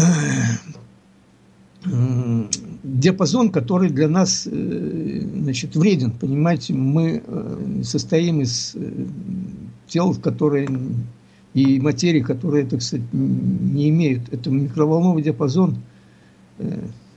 Ну, как бы, понимаете, если не читал человек «Недорной вселенной», достаточно трудно объяснить. То есть микроволновый диапазон – это те же волны, да, это деформация пространства, заполненная… Э, что такое э, значит, фотон? Это минимальная деформация пространства, заполненная одной первичной материей. Так вот, микроволновый диапазон – это тоже деформация, и тоже значит, маленькая, которая заполнена какой-то э, первичной материей. Так вот эти первичные материи вот так влияют на э, значит, СВЧ диапазона на, на пищу, что она э, все полезные вещества там гробятся, и пища становится мертвой. Поэтому связи здесь э, с, то, что если Земля излучает что-то такое, и микроволновка никакой. Угу. Здесь уточнение как раз пришло. Так микроволновка вредна или нет? Так уже ответили, да, вредна? Вредна, да, конечно. Хорошо, идем дальше. Тех людей, которые задают вопросы, но пишут не по-русски свои имена, или не русские имена то в этом случае я их буду называть дядей Степой. Итак, вопрос от дяди Степы. Вопрос в эфир. Множество ученых сидят на грантах, в которых уже заведомо указаны результаты, указан результаты исследования. Вот как написано, так прочитал. И ученые, которые за них берутся, необходимо свои исследования подогнать под указанные результаты. Понятно, что причины погони за грантами одна – это деньги. Наверное, читаю, как написано, наверное, объективно говоря, систему грантов не убить. Что необходимо сделать, на ваш взгляд, чтобы изменить изменить современное положение дел? Дело в том, что надо изменить социальный организм, в котором мы живем. Значит, э, сейчас у нас совершенно ненормальное общество на всей планете, понимаете? То есть социальный организм больной. Ведь то, что называлось э, первобытно общинным, а правильно общинным организмом, вот тот организм и был нормальным социальным организмом. И там процветали все, так сказать, сферы деятельности человека. Понимаете? И э, думаю, там ни о каких грантах и речи не было. То есть изменится общество, изменятся, соответственно, механизмы, каким образом э, в обществе люди э, значит, становятся самоценными, зарабатывают на жизнь, и э, как они получают Э, э, э, самоценными становятся плоды их труда, независимо от своей деятельности. Понимаете? И критерии совершенно другие оценки. То есть в том обществе не состояло и не стоял вопрос. И об этом написано в Ведах, что паразитическая система, она только чего? Они завидуют друг друга, и даже в пекельном мире там написано, богатство друг друга – и зависть их э, пожирает. А у нас на планете построена паразитическая система, понимаете? И только когда она изменится, тогда и изменится и э, соответствующие нравственные ценности. И тогда люди будут, может быть, работать совершенно, трудиться э, совершенно по другим мотивам. Не, и, может, и денег-то не будет. Угу. Вот, э, написал Петр, я Петр, вот, человек, который дяди Степа, который назвал. Так раньше надо было писать. Я же тебе задал вопрос, как к тебе обращаться. По поводу вот этой паразитарной системы. Очень интересный такой бытовой вопрос. Уйдем немножко от физики, да, уйдем от науки. Потому что наука, она состоит тоже из людей. И люди, они все в быту так или иначе существуют. Вот заезжаю на заправку, нужно было газом заправиться. Баллон с собой привез заодно. Ставлю, он говорит, а мы баллон не заправляем бытовые. Почему? А, запретили. Кто запретил? Ну, там УБОП пришел по чьей наводке. В общем, получилось так, что разрешил глава района, э, вот целиком области, вернее, разрешение дал, а глава района, мимо которого это все прошло, возмутился, почему деньги идут в обход и попросил ОБОП разобраться. Пришел или там УБОП, или ОБОП, я не знаю, как там эти термины, я далек от этого. И они стали запрещать. Сначала к перегородке придрались, потом к этому. И каждый раз находили какие-то новые, новые, новые, новые какие-то указания. В конечном итоге им сказали, написали сумму 3 миллиона рублей пожалуйста, будьте любезны, положите, тогда вам разрешат торговать бытовым газом. Бытовой баллон э, заправлять. Вот вопрос. Как мы можем построить новое общество, если люди, которые наверху достаточно сидят, занимаются вот таким просто-напросто побирательством? они не думают о том, что вот этот весь район, который ездили сюда заправляться, э, они поставили в положение по ЗУЗЮ. Потому что весь всему району, который люди остались без этого газа, придется тебе за 3-9 земель кататься в другое место, заправляться там, и так далее. Казалось бы, да, вот элементарно. Так то же самое в науке. Кто-то сказал, вот я возьму там грант, но отработаю, как проститутки такие. Да? Грант дадут, я отработаю, не дадут, не отработаю. Кто-то по недомыслию, потому что так ему кажется, не хочет разбираться, кто-то еще почему-то. Вот этот весь быт, вот этот весь быт, он переносится на науку. А какова наука, такое воспитание, такое образование. Вот получаем таких детей, людей и так далее. Меняйте свой быт, учите детей разбираться, учиться – Учите людей разбираться в этом мире, и все будет очень просто. Все будет меняться. И тогда вот такие люди, которые мимо себя копейки не пропустят и завидуют, э, потому что у кого-то что-то хорошо, они будут просто выброшены из нашего общества. Когда общество соответствует высоким меркам, то ими управлять уже негодяи не могут. Все очень просто. Становитесь выше – и тогда они будут подстраиваться под вас. Не захотят подстраиваться, будет по-другому с ними разговор, потому что мудрый человек всегда найдет возможность влияния на них своим образом, своим способом. И когда таких людей мудрых больше становится, то в этом случае проще, наша жизнь будет лучше становиться, проще. Меняйтесь сами, изучайте. Изучайте этот мир, как он есть. Ну, вот такой бытовой пример. Ну и последний вопрос зачитаю. Вопрос в эфир от э, Дмитрия Харийского. Здравие и процветание, Лев Григорьевич. Существуют ли в данный момент на территории стран СНГ открытые научные сообщества, которые не лезут в официальную науку и ей сопутствующую бюрократию, а занимаются объективным осмыслением ведических знаний и практическим воплощением их – применением современной действительности? Если да, подскажите, куда обратиться или где поинтересоваться. Дмитрий Харийский. Таких научных сообществ я не знаю в СНГ. Значит, вот докатились до жизни да, такой. Значит, которые не лезут в официальную науку, ну, и чтобы ведическим там осмыслением занимались. Вы понимаете, есть структуры э, разные – которые, так сказать, пытаются как-то э, отойти э, в этой политической системе и э, заниматься, но их не, тем, что они хотят. Понимаете? Ну, вот пример могу привести. Есть сообщество, которое занимается разработкой программного обеспечения вот, операционной системы Linux и подобных приложений. Но это не значит, что они там осмыслением ведических знаний не просто пытаются, э, так сказать, тет Microsoft как-то, который под, под себя все подмял. И, а, то есть все, вся, так сказать, э, планета находится под э, э, щупальцами политической системы. Понимаете, вся финансовая э, система мировая единая, видите, э, что хотят, то и устраивают с помощью долларов и евро и всех остальных вещей. То есть э, эти паразиты, которые стоят за всеми государствами, дергают за ниточки, инструменты у них известные, значит, финансовые инструменты, плюс э, значит, под, под СМИ, которые им подотчетные. И вот э, манипуляция сознанием людей и управление. А вот таких независимых научных сообществ я не знаю, тем более на территории СНГ.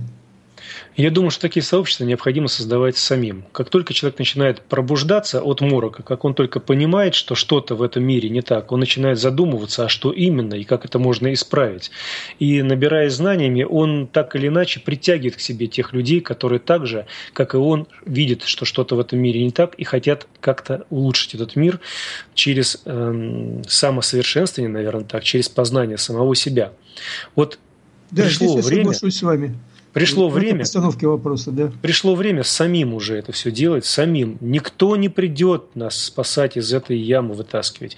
Никакой Перун, там, Сварогович не прилетит к нам на волшебном вертолете, не подарят нам 500 эскимо, никакая там Лада Богородица нас не вытащит из этого дела. Если мы не соответствуем предназначению, божественному и своему в этой жизни, но в этом случае мы должны будем из этого мира уйти. Другого варианта нет. Мир так устроен. Если ты на своем месте, если ты силен, никакой паразит тебе не страшен. Как только ты даешь слабину, ты подчиняешься паразитам, паразиты тебя съедают. Так устроен. Это принцип не человеческий, но это принцип мировой, он существует. И хотите вы это, не хотите, но плакаться можно бесконечно. Вернее, нет, до того, как вас не грохнут. Вот до этого момента можете плакать сколько угодно. А хозяин своей жизни, тот, который начинает ведать, понимать, он просто-напросто выстраивает свою жизнь так, как есть. И он уходит из звериного царства, он поднимается над ним. И тогда уже слабых не едят, а слабым помогают развиваться. Вот и все. Будьте человеками с большой буквы. И все на свои места. Итак, последний вопрос задан. Мы и так уже лимит превысили почти на полчаса. Я предлагаю заканчивать наш сегодняшний эфир.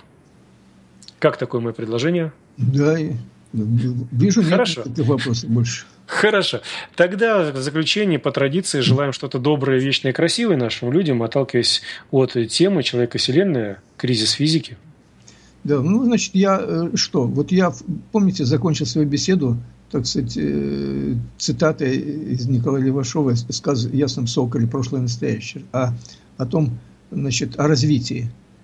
Э, значит, то есть человек, используя качественную информацию, повторяю, качественную информацию, потому что от того, какую информацию человек впитает в себя, и от того качества, и какова его многогранность, зависит, э, остановится развитие человека или нет.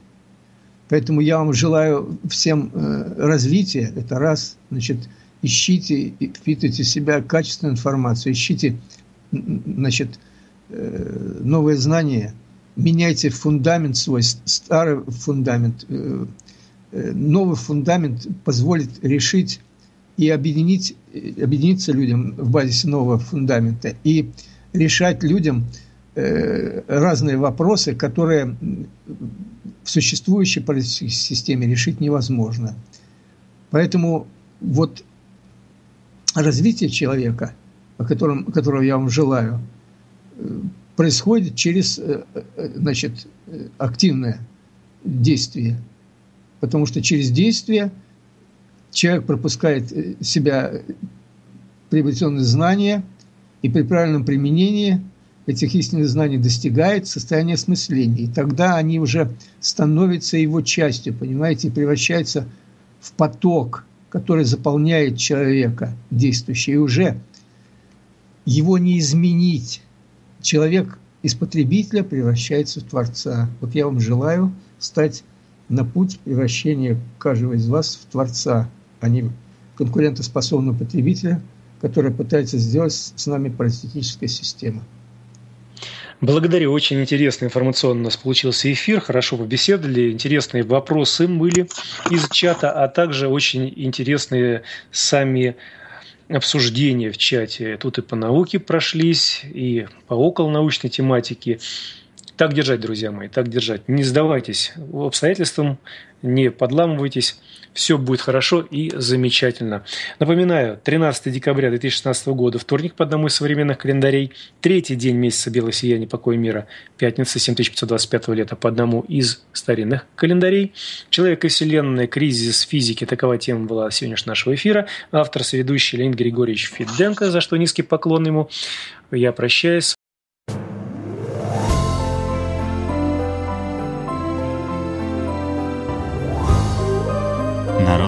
Славянское радио. Все нужно, все важно.